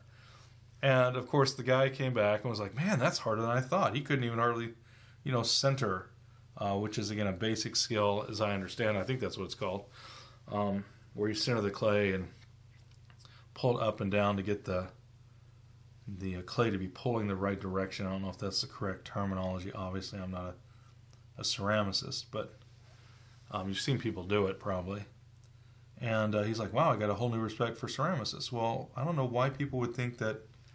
I think because it's like, oh, well, they're working with mud. That must be simple uh, then that's just it's not. It, it's it's it's an art form. It takes time. It takes, ta- you know, it, uh, talent's the wrong word. It takes time. It takes learning. I always believe that talent comes from learning. That everyone may be born with some innate innate skill or something, but that doesn't matter. The skill is actually it's once you start to develop the skill, that's what matters. And you could point to some. Oh well, what about so and so? Some you know person that lived that was like the extraordinary example. Well there's always going to be people like that. But most of the people that are professionals are not those extreme examples. They're they're just an average joe that decided they wanted something and put the time in. And that's what painting is deciding what you want and putting the time in. It's a skill. And you know that's that's what's gonna if you you know keep with it it's what's gonna make you good. It's what's gonna make you uh, you know, again, high, highly skilled. That's like keep, you know, I'm thinking of a different word, but yeah, skilled is, is definitely the word. Uh, but you're going to learn to do it and do it well, and that's that's what we all want. That's all you know what we we hope for. And that's what we're doing here is we're trying to start to build that. You know, let's get good with this thing. Let's let's let's uh, make it happen, or whatever the the term is we want to use. But that's the idea that we're just going to go ahead and start to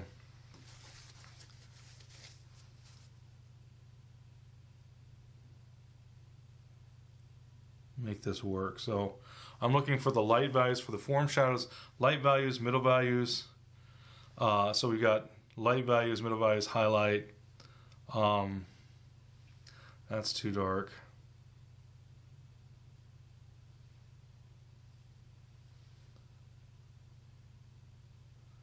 There we go. I just need a little bit of warmth in here. A little bit of that. Okay, laying that down fairly gently, fairly lightly. And, uh, and then we'll come over here for the for the brighter stuff. Now, generally when we're painting, people will say you want the, and we're going to want to do the same thing, but they're going to say, yeah, you want the shadows thinner and you want the lights built up a little bit more. So you want the most texture, the most paint and the lights, and you want the shadows thinner. Now, there's times if we're doing some contemporary art idea, we may not do that. We may we may turn that on its head. But if you're trying to do representational painting, if you're trying to do photorealism, if you're trying to do hyperrealism, well then yeah, and you're dealing with paint. Um, or even if we're dealing with pencil, you want the illusion of the most texture, you know, the most surface texture in the in the middle values and in the light side. It, it starts to fade in the shadows. So um, with paint, we're, we're dealing with texture. Usually, we don't actually create textures with drawing very often. You can, but most time people are working much more flat. But it's the same thing. You want you, you want the, the shadows to have less detail you want the shadows to have less texture. So now what I'm doing right now is I'm putting in the core shadow. Uh, and again, there's one thing with, with art is there just not, there's not a, um, standard. So there's certain things like form shadows where you have like five different artists. We'll talk about them in five different, slightly different ways. Uh, you know, either you know, depending on their their uh, where they were trained and stuff like that. Sometimes you'll hear the the proper Italian use. Sometimes we'll have, have people use uh, just different terms like the Terminator and, and, and other things. The ones that I'm using are usually, hopefully, still the most common. Uh, they certainly were when I was in school, uh, you know. So we won't talk about how long ago that was, but you still I still hear them thrown around enough in other videos that I know they're being used. But we're going to deal with the core shadow which is where the light and shadow meet. In the lights, we look for light values, half tones, and highlight, or light values, middle values, highlight. Um, some people call the light values the core of the light. Uh, again, there's slightly different terms, but basically you have three values in the lights and three values in the shadows if it's round. If it's not round, well then you know, it's it's gonna it's gonna have five different types of form shadows instead of six because round objects have core shadows and flat objects do not. So we're gonna go ahead and put in the reflected light and the shadow.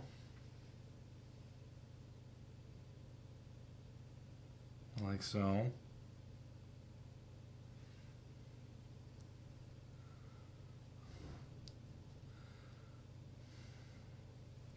And so we've got, you know, this thing is now starting to look like it has some depth.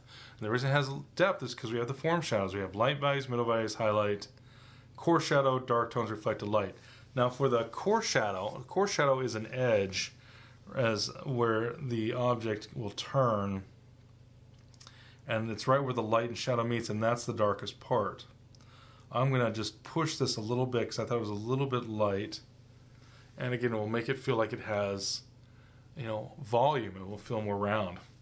We're going to do the same thing. And again, we're not going to sit here and detail this. This will be just a basic, you know, a little still life, you know, basic little concept. So we're going to do the same thing. We're going to just enough for it to happen on the cube and the and the uh, and our little it almost looks like a little pumpkin, but our little tangerine, and we're going to call it good. Okay, so for for the um, the cube, let's go ahead and that's gonna be a little too neutral. I need some of my orange back. Grab a little bit of that orange because I had some, you know, I had all that gray in my brush and it was blue gray to boot and it was going green. So I'm to compensate that with a little bit of red. Use this neutral red that I had, that stuff. It's it's really nice because it adds a little bit of red, but just just just very little. Um, not so much that it overpowers everything.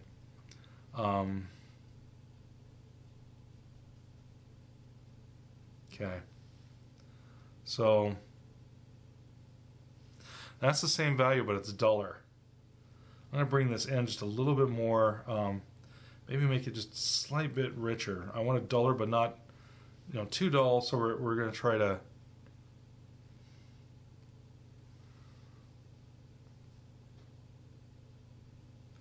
Okay, so this will be uh, the the light side of our cube.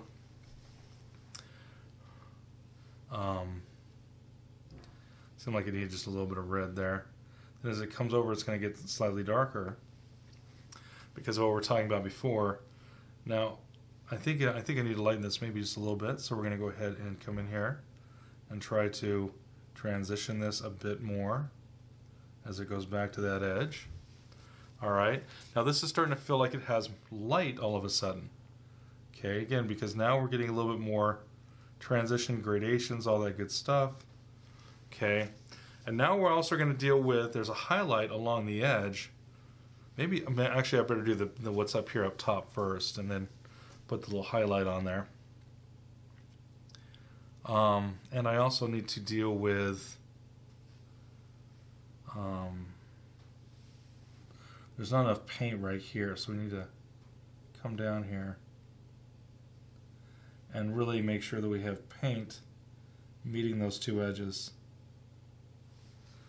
Um, same thing here, we need to make sure that this has enough paint along that edge. Like so. Alright, yeah, that'll work. Um, again, we could get in here. It looked like it got a little bit brighter, perhaps. Um, so the more you blend something, the duller it becomes, the darker it gets. If you can put a mark there, it'll always stay lighter. If you if you don't if you don't uh, you know move it around, it'll stay brighter and lighter. Okay. So again, this is starting to go, okay, yeah, this starts to feel like that, that cube a little bit. Uh, I think we can go just a little bit more orange. I'm going to get straight orange here. Uh, so I think I can just vary the intensity of this just a bit. So this right here is about the same value, but it's just slightly more intense.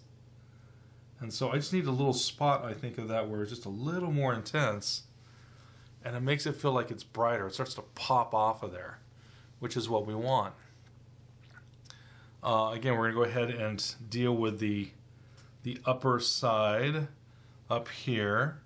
Um, we're going to go ahead and bring in now. There's some some of this tangerine, some of the orange of it is going to reflect. Now this is not metal, but it's still going to reflect gently into my into my cube. So we're going to bring some of that in. That was probably a little too much. That's okay. Let's get rid of some of these dirty paper towels. Um, okay, let's go ahead and see if we can. That was too dark.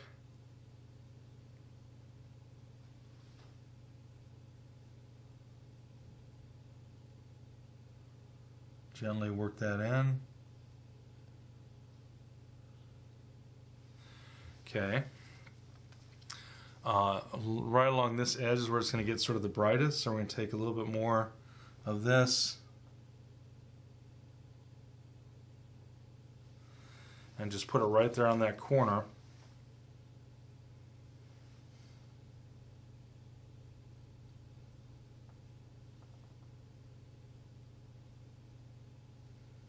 All right.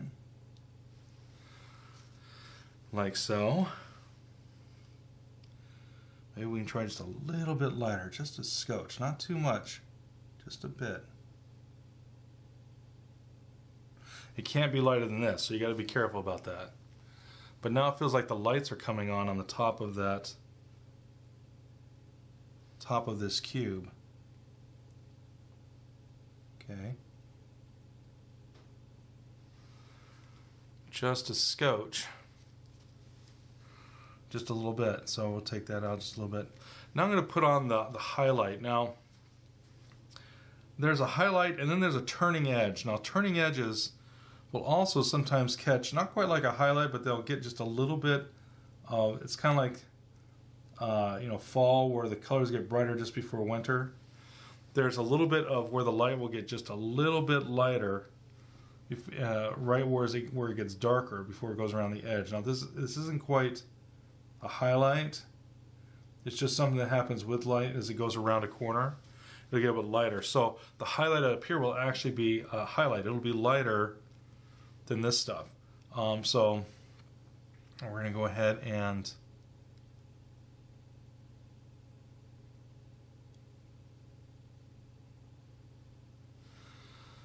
try that again.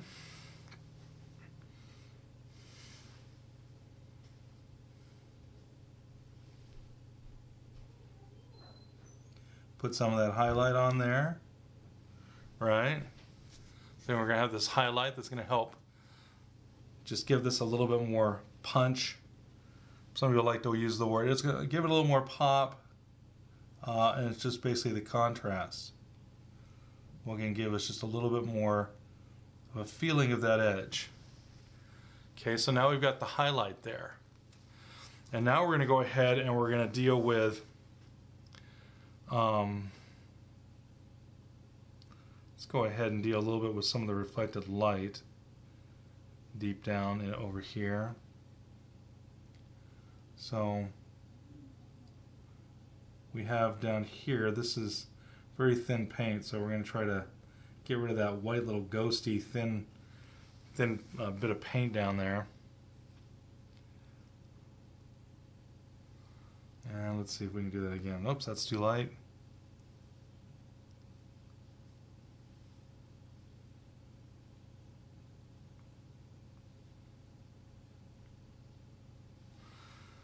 Okay. And then we're gonna we're gonna get a little bit darker as it comes away from there. Now that's just again to get a little bit of the gradation in the shadows that are happening. There's a little bit of gradation going on here. Um, that's a little too dark, so we're going to pick up some of a little lighter gray, mix a little lighter gray over that. Still too uh, dark, bring a little bit lighter gray still. So now we're over mixing. We're using lighter values over darker values to get them to to be light enough. Okay, so now we're going to deal with the cast shadow and this over here. Try to clean this up, get this going. Um, so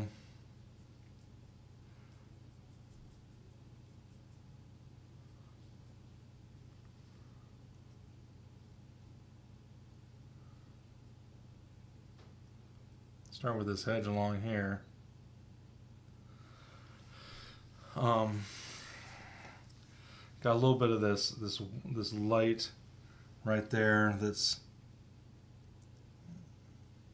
there we go took that out a little bit. Let's go ahead and get our this and a little bit of this and a little bit of that because that's a little too dark. Okay. So again this is going to be getting a little bit a little bit darker down here at the bottom just a scotch just a little bit okay um, and then it's also got we've got some reflected light down there. Um, bring some blue in here, neutral color. Leave a little more neutral. Needs to get a little lighter, so we're gonna take a little bit of this, lighten this up a bit. Let's go ahead and tap that in, so it because otherwise you'll get like a little roll of too light of paint down there, and then you're like, oh no, that was too much. So we'll go ahead and start with this. Okay, so this will be again where it's getting uh, darker towards the corner. I'm going to continue to bring this edge in because this edge I think needs to go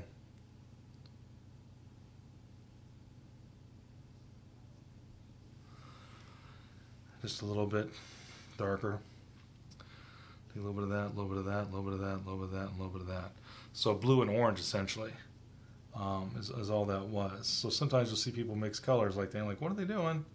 and I was just trying to neutralize an orange. That's and I'll do it whatever way I have to. So again, I'm using the grays, I'm using my browns, I'm using my blues. Uh, this again is supposed to be getting uh, darker right along here. Okay. Uh, this little corner here is actually the darkest.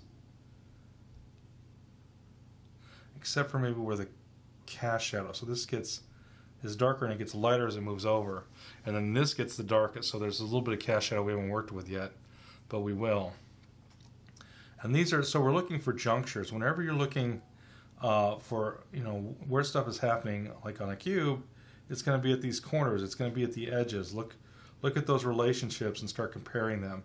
And you'll be surprised at what's actually happening versus what we think is actually happening. We usually don't, when in the beginning, when we start painting, we're not paying near much as much attention. And sometimes when we get really good, we don't pay enough attention because we think we know what's going on. Be very careful of making assumptions. It's just as bad as painting as it is with anything else in life. It's never a good thing. Be very, very careful of it. Um, where you have some of the reflected light through here. Okay. I think we've lost too much of the uh, some of the yellow and the brown, so we're going to take a little bit of this, uh, maybe a little bit more of this, so we can start to warm this up. Oh, warm! What's he talking about? Well, we're taking a, a dull, a dull orange, and we're mixing it into this area. So adding orange to a place I thought was too blue, warming it up. Okay, that's all that means. If I was cooling it down, I'd be adding blue to the orange to make it bluer to cool it down. So again, if I was adding, again, blue to orange, that to cool it down. Or if I was trying, you know, so if I had this, again, I'm, I'm adding orange to warm it up. But if it was, if I needed to, if it was too orange, I could cool it down by adding blue. So warm versus cool, it's something we talk a lot about as we paint. And sometimes in the beginning to uh, people, it can be, and it was to me when I first started hearing it, because I wasn't used to people talking about color that way. So again, we can, I'm adding blue a little bit to this area because I want it cooler. And I want it warmer here and then cooler as it comes down into the reflected light. I want it lighter, so it's changing value, it's changing temperature, it's changing in a myriad of ways. Not a wonderful word, myriad, but it's changing in all kinds of ways, and we, we need it to, we want it to. It, it will it'll make it'll give our painting more depth. It'll make it more interesting and people will look at your stuff and go, "Wow, how did you do that?" And of course, it's up to you to respond however you like. But uh, if you really want to, you can say, "Well, I took some classes from this guy that knew what he was doing." You know, that's that that's that's the preferred response. But again, you can tell them just how the, if you like, how the fates the fates smiled on your bassinet as a child, and that's why you're just that good um, or you can just tell them, well, yeah, there's this guy I know. I know a guy. Give them that line, see if they believe you. But this is where it's fun, where we start to learn and start to, to play, and, and and that's where the fun starts to happen on, on the painting. So again, we've got that we've got that worked in. We've got our cube looking like it has some depth, which is what we want. And the last part, but not least, we're going to deal with the orange. Now, if I had more time, again, I'd clean these up by bringing more paint. So a lot of times people are like, why does it take people so long? Why did that paint take so long? People will hear, oh, it took me like six hours to paint this or 10 hours to paint that. And they're like, man, what were you doing? Because you'll get like an hour and a half in, you're like, man, what are those other people doing? Here I am. Well, they're going to try to get it to the next level. In other words, they're going to clean up edges. They're going to make sure that every edge is not only the right color, but is is clear and consistent and and doing exactly what you want, and that takes the time. So this would still be, you know, in in the grand scheme of things, would still be in the beginning stages. This is not, you know, a a finished painting. It's not something that's going to go into any shows that I'm doing or anything like that. It's just it's just not to that level. But I could take it and go, all right, well, let's make this the most wonderful little painting of a, you know, of this little tangerine sitting on a on a cube, and then I might would take another five six hours and really really get this to work, get this to do what I wanted, and that's you know that's where you're really gonna. So again, and a lot of it's just the nuancing. Oh, you know, I'm gonna go ahead and redo this edge, and I'm gonna redo that edge, and and that's fine. That's what you want to do. Get it to that really nice stage of completion. that's where the time really happens. That's that's where you know we burn most of the time when we're creating paintings. Is at that point where we're trying to get stuff to do what we want instead of just hoping that it does what we want. The hoping part doesn't, you know, doesn't do much. Uh, it's it's where the, you know sort of the rubber meets the road. You get in there, you, you do the heavy lifting, and that's that's what we're trying to do. We're trying to do the the heavy lifting, if you will. Um, again, I'm trying to get some of the reflected color and reflected light down here into the into the cast shadow. Uh, the cast shadow then goes around the corner. It gets slightly cooler, so we're gonna add a little bit of blue to this, and it gets slightly lighter as it's going around the corner, so we can lighten that a little bit. Um, so again, we get all these little nuances with the form shadows that really is what's going to make this or, or break it, as the old saying might go. Uh, we're going to get a little darker just under that object, which is called uh, the uh, occlusion shadows. And again, same thing would be here. We'd have these little shadows where, the, where everything touches. You're going to have what's called an occlusion shadow. It means two surfaces are touching. And it gets really dark in an occlusion shadow. So we go, okay, yeah, there's right here where that touches the cloth. That would be an occlusion shadow. You know, where this uh, where this little guy touches again the cloth, there's going to be again an occlusion shadow. Where this little guy, you know, again where this guy touches the cloth along here, there's again going to be another occlusion shadow. So we could go ahead and get this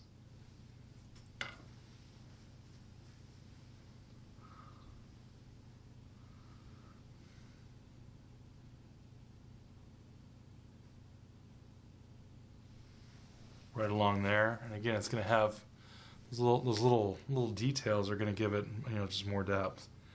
Um, again, if I wanted to push this, I keep looking up there and I keep going, hmm. Seems like there's just a little bit more, you know, the, the, in the reflected light area.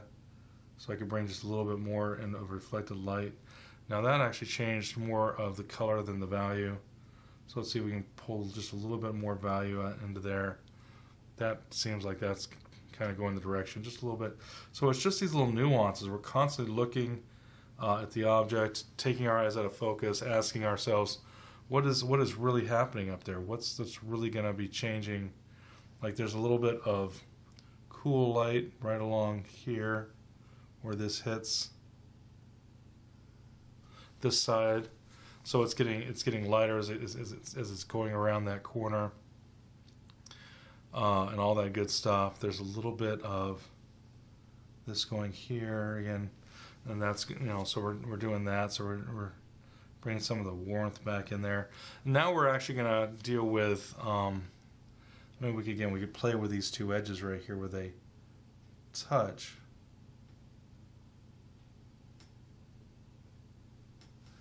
Again, I'm using this nice brush as a really nice edge to do that. Uh, again, you can put your put my finger down to support it. That's the wrong value. Wow, look at that. That was a bad decision. Well, we'll just come over here with a lighter value. And then pull the two together. And now that's, you know, pretty close to what we want. Again, we say, well, what about this over here? Again, where that edge is just a little kind of, just a little, it's not very straight.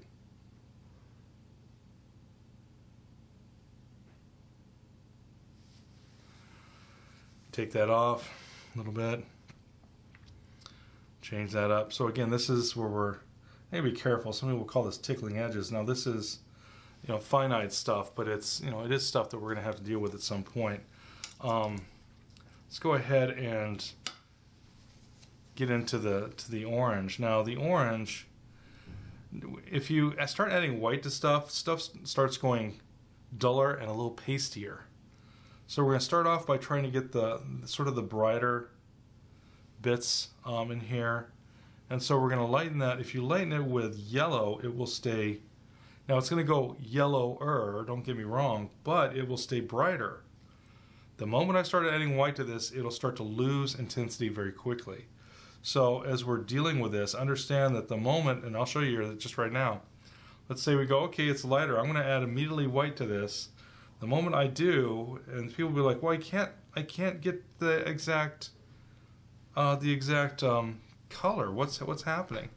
If you add white to it, it's always going to go, you know, again, slightly peachy. And if it gets too light, too peachy, it won't look right. So white's always the last thing. If you're like, well, it still needs to be lighter, well, then add white. But don't let white be the first thing you add because it's always the wrong thing to do uh, to do that first. Usually try to go, hey, and you might say, wait a minute, I thought you said when we mix stuff, we, we change the value and stuff like that. And we do. I'm changing the value right now, but I'm changing the value with yellow. I'm not changing the value with white. So again, it will, if whenever you change a value, and you're changing that value with a color, like yellow will lighten this. Now it also will make it more yellow. Don't think for a minute that I'm, I'm not I'm telling you that it's not doing that because that absolutely is going to happen. Of course it would. You know, it's we're adding yellow to it. But the idea is what we normally will do when we first start painting is we'll go, oh, I need to darken it, and, or pardon me, lighten it, and we immediately, you know, we'll we'll reach over for the white, and then we go, wow, that just doesn't. That's that's just not what it just not, isn't what I want. Doesn't look right. And that's because whenever you add white, you start sacrificing a lot of chroma very quickly. And on something like this orange, we have to we have to preserve. We have to preserve the intensity, preserve the chroma. We need it to be bright. And if we start adding white to it, it will start to dull very, very, very quickly. So, like right now, I'm trying to get that middle value, and I don't want to go. I want it. I, I'm trying to keep it brighter, and yet uh, red's a little. Reds are slightly darker, right? So to make this darker and still keep it brighter, I'm making it slightly redder. Okay, so this is redder, this is more yellow. And that's what's going to keep this thing looking brighter as we as we paint it. Um, I'm going to grab a little bit of brown. Now this will darken this still, uh, but we need to darken we need to darken it. So we have we're gonna whenever you darken something, you're gonna sacrifice a little bit of of intensity, and I and I, I, I did but I have to. There's a point at which you're like, I have to do A, B, or C, or D. Well, that's fine. You know, as we go darker, we are to sacrifice intensity. Now, you could say, well, I can darken a little bit with red and, and, and, and sacrifice less intensity, and you can, but if it goes too red, well, then it's going to look like an apple. So, you know what I mean? There's, you can only do that to a certain point where you have to then start adding the brown and stuff like that. So, don't, that, that'll help you keep colors a little brighter as they're changing. And that's what we want. We want we just usually we just want need a little bit more punch to our color as we're using it.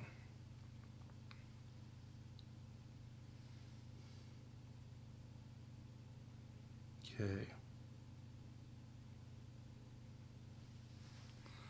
Like so. This is then getting a little bit darker around the corner here. And like so. This is also getting darker as it goes up. So we want some of that. We want a little bit more of that than I think I've got. So we're going to go ahead and add just a little bit more. Now that went too dark, so I'm going to grab a little bit of red, a little bit of yellow. So orange, a more brighter orange. Now, is it going to bring it all the way back? No, that's not what I'm looking for. I need it to be darker, so that's fine. But it just went too dull, so I added a little bit of pure red to the mixture, a little bit of pure yellow, and now we're trying to get this back to where we need it to be. Okay, so now the other thing that's going to make this give it a little bit more intensity, or make it look brighter. So there's now, so it's going to make it seem more intense. Is we're going to use a duller color and we're going to go into the shadows and we're going to darken it because the shadows right now are too light. So we're going to come in here and we're darken for the shadows. and the darker shadows are going to give the lights a feeling of a higher intensity. Okay. We also have reflected light happening at the bottom of this, so we have to be careful as we're doing this.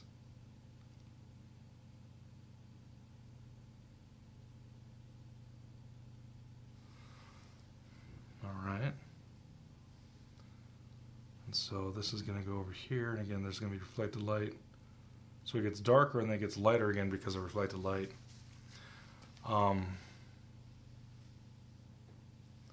also going to start to get darker through here. Again, we're using that redder mixture that's going to be a little brighter. Okay. All right. Now you're probably saying, I'm looking for this thing to look brighter. I don't know that you've done it yet, Kevin. And I think you're right. So we're going to go ahead and we're going to go ahead and darken for our shadows.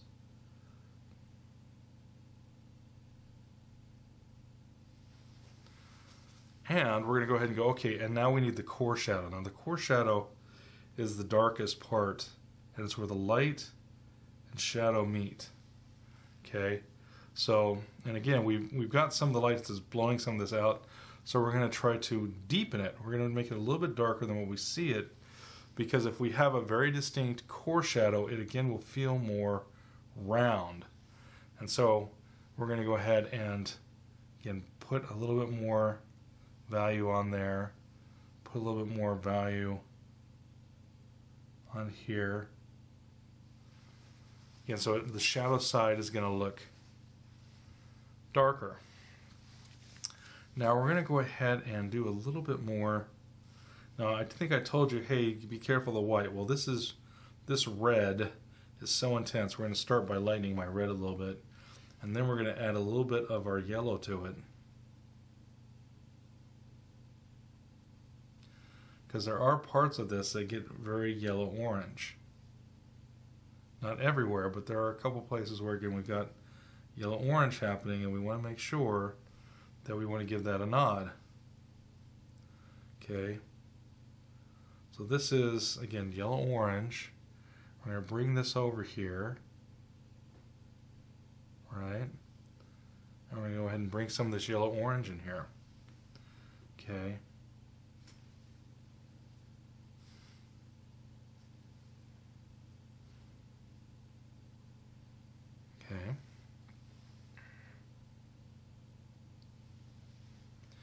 This a little darker. We're to add a little bit of the brown to it. Going to go a little darker. This goes a little darker up here, like so. We're then going to bring back in some of this nicer, this is our red orange right through there. Make that seem like that's a little brighter. We're to go ahead and soften some of the the values through here. Uh, we're going to look for some reflected light in the shadows, and there's some very uh, some reflected light down here in the shadows. Now I think that's too red, so we're going to bring some more of the yellow.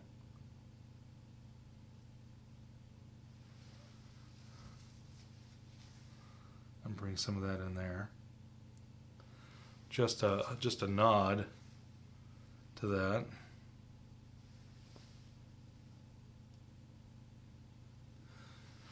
Now that's a little too bright, so what we're going to do is we're going to stroke that a couple times, bring that back down. There we go. Okay.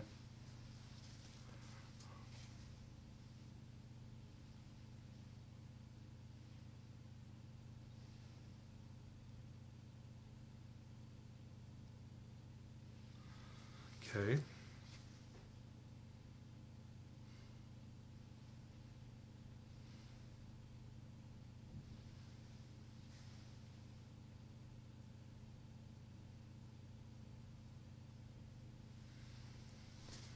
All right. Now again, it's also some of the surrounding colors. So again, where this gets a little darker as it comes around, this gets darker, and again, one edge gets lighter. So as this edge goes, and it's a soft transition, but as this edge goes darker, this edge over here gets lighter. So again, we're going to try to make sure we have enough light up there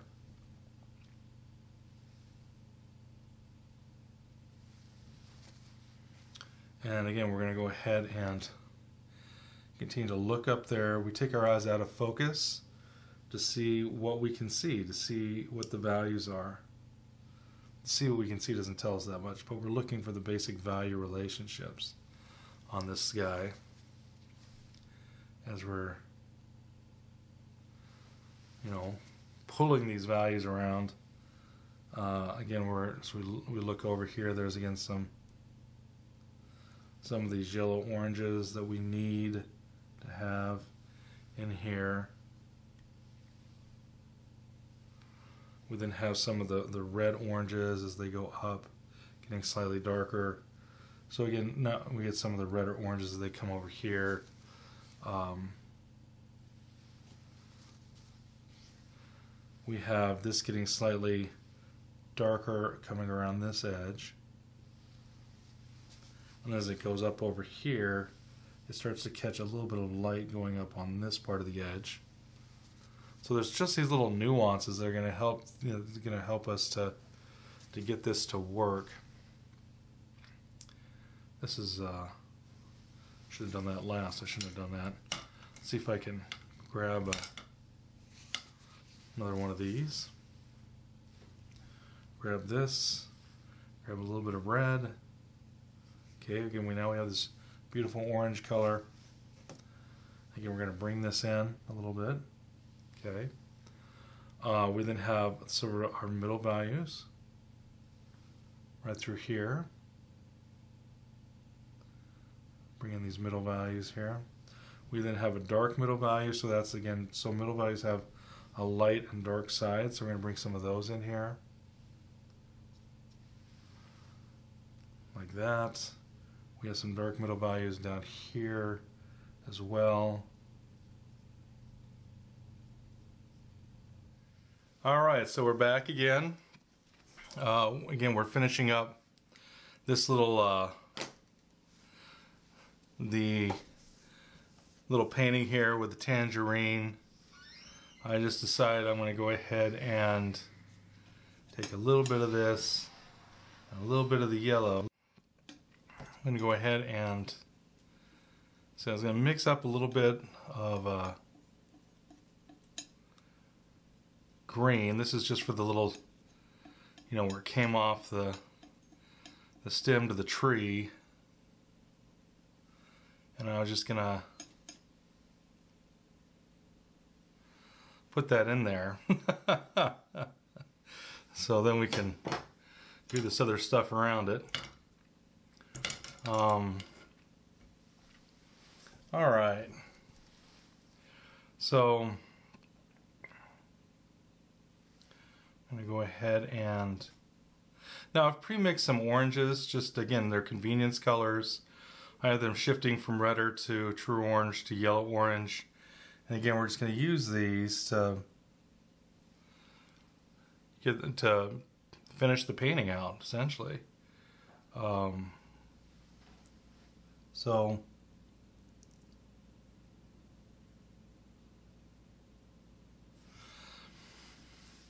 All right.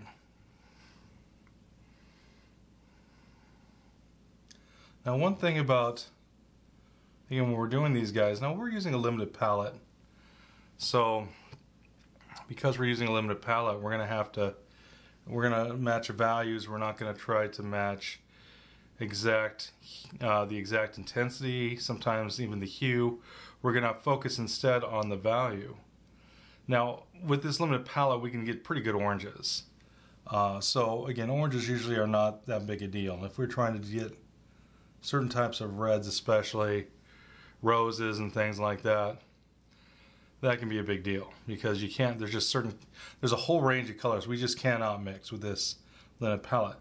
But for you know realistic painting and all that sort of stuff, we can mix enough that people will perceive it to be uh, the color it's supposed to be without having to match the color.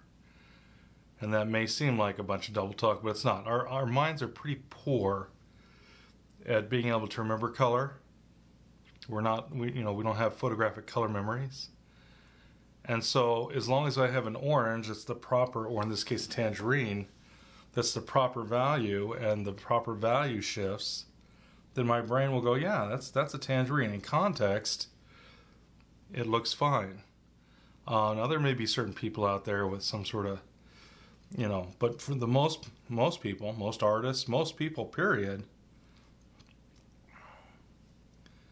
cannot tell. And so that's how, you know, people would do paintings. I, I talk about how we have more color now than they did 200 years ago, but you can find paintings with strawberries that seem like the strawberries are jumping off the canvas. And people are like, well, wait a minute, how did they do that? Well, first off, if you carried a strawberry in there and then put it up to the painting, you'd say, well, wait a minute. This isn't exactly the same color. I just perceived it to be the same color. And so, you know, a lot of that is just what we believe we are seeing and and not ex- and not precisely what we are seeing, but what we think we are seeing. And that's that illusion part of this. So remember we're you know, we're creating illusions. We're trying to make people believe that this two-dimensional space has depth, it has volume, it has form, and substance, and all that good stuff, when in fact, it doesn't.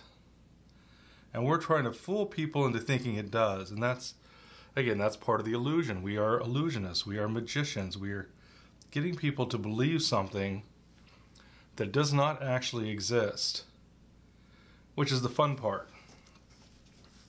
Uh, all I'm doing now is I'm bumping the values a little bit. I'm trying to reestablish all the different values on here, uh, trying to make sure that we have some nice transitions where it's, you know, the the, the form is uh, the the shadows are going around a form uh, in, a, in a subtle way, and I'm trying to again just softenly try to get some some gradations in here. That's going to be the name of the game. Whether I can get, you know, if I can get people to believe that these are in fact going darker and stuff like that. I mean, they are, they should be. Don't get me wrong, but I'm just saying we want to push. We're going to push that illusion, and so it's it's a it's a visual sleight of hand, and that's the fun part. Is, is it is a visual sleight of hand. It's something that does not exist, and that's that's the great thing about art is we're getting people to believe in something that isn't real, or that could be real. But by not real, I mean that this is not that that these types of fruit does not exist. That's not what I mean by what's not real. I mean that this is literally a two-dimensional surface. And we're trying to get people to believe that instead of it being two-dimensional, that is in fact three-dimensional. And that's what the illusion that we're talking about. It in fact is not three-dimensional. It is always, you know, it is always a two-dimensional surface. And yet we're trying to make people believe it's something that it's absolutely not and again that's that's the great part of this. That's that's the fun part of this. That's that's what makes it fun. That's what makes it exciting. That's what makes art so much so gratifying to those who to work in the medium. Who work in the medium is that again you are creating these illusions these ideas of things that people are believing even though we know that it, it does not it's not what we are, are it's, it's not what we're seeing because we we can see that it's a two-dimensional surface, and yet it seems like a window, an opening to another realm, another dimension, where things like this do exist that seem to defy their you know their surroundings to defy the fact that this actually is two-dimensional and not three-dimensional. And so we get we're getting here to the point where we're just we've got just enough of an illusion to create. We have dark, we have core shadow dark tones, we have reflected light, we have middle values, we have light values, we we even have some dark middle values in a couple places. I think we need a little bit more, maybe back here, just as it goes over the hill and into that little that little dip we're going to go ahead and have some some red as it comes over right there. We're then going to have it get a little bit lighter. Maybe that's too quickly, so we're going to go ahead and bring that back down. Okay, there we go. All right, and now we're going to place a highlight.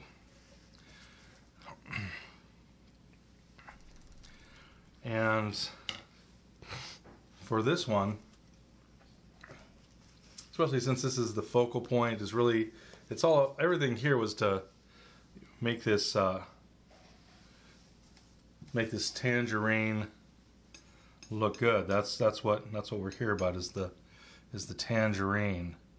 Um, so we're gonna go ahead and uh, I wanted to see if that that so those those palette knife marks are as clean a paint as I could possibly put down. I wanted to see if I could get just a little bit more out of it. And I got a little bit, but not, not a whole lot. Um, so what we're going to do now is we're going to go ahead and place the highlight. Um,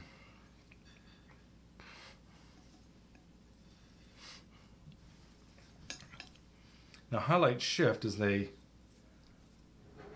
as they um, they they tr- the the color shifts. So, and we should we're always looking for shifting color. The color shifts as it goes from light to shadow. The shadows will shift hue slightly. And the same thing happens when we go to highlight. The highlights are not white; they have a color, and they try to shift to the complementary color, but they don't quite get there. So, the highlights I'm seeing on this are actually a light red, violet color. Again, as these are trying to shift to the complementary side of this um, of this orange, but they don't quite make it.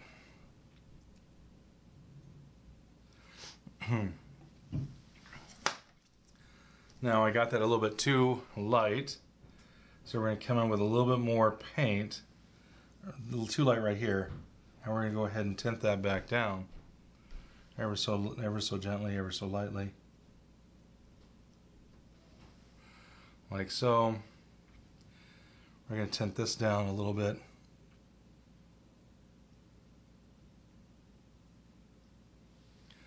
Like so.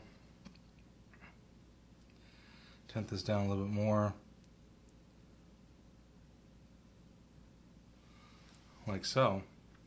And now we have, again, we have a, a painting of this um, this tangerine. Let me just see if I can put one more stroke down. Yeah, that'll work. That really glows. Okay, and it's actually has to be dark enough that it doesn't go too light. Um, so this is a dark middle value that I'm putting down, but in context of all that shadow, it looks pretty bright.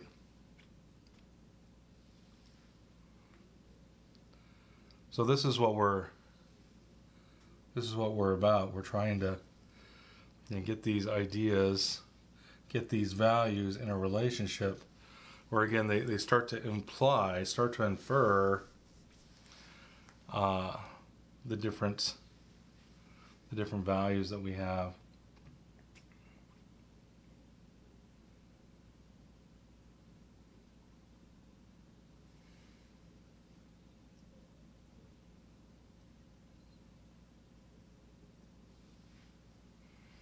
All right, I'm try to shift that just a little darker, a little redder right next to that, so that will go in a bit. And I think we're done. All right, so here we go. Cute little still life in oil paint. Um, yes, we could still play with this. You know, I'd want to play with this area. I'd want to clean these up. Again, I could spend another five hours on this, really getting this to shine.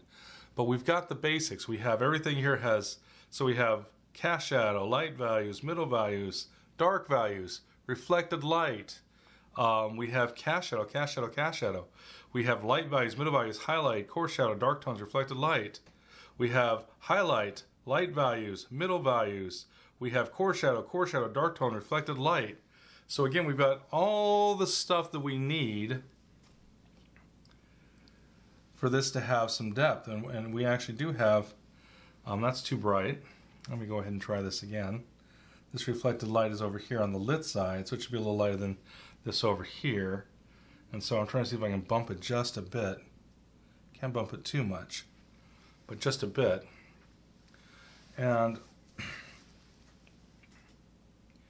see if we can just soften this a little bit. Like so. There we go. So again, we have highlight, light values, middle values, core shadow, dark tones, reflected light, and we've got this thing looking like tangerine. Now I'm going to do one more thing because I think this has gotten a little flat in the back. And so let's see if we can bring just a little bit of light right there. There we go. I think that really works. Okay, just sometimes it's just a little bit that'll like, oh yeah, because if we've got the light hitting this side, which we do on this, it'll also be hitting this side a little bit as well. So that's what that was about. And I just took off a little bit of the texture. All right, so this has been Kevin McCain with Kevin McCain Studios and Idaho Art Classes. For those of you, this is the, again, I believe I said that in the beginning, this was the seventh session. This is actually the eighth session, pardon me. So um, this is the last class. Again, we're doing this cute little painting of a neutral object, a medium, so a low intensity object, uh, medium intensity, high intensity. This is low intensity, low intensity. So we've got all these different variations in here, a little vignette or a small little still life. Um, if you're not part of my class, well, go ahead and again try to do this at home. It's a really great exercise for working with oil paint. Um, and yeah, you guys have yourselves a great day. Be more creative. Bye bye now. Take care.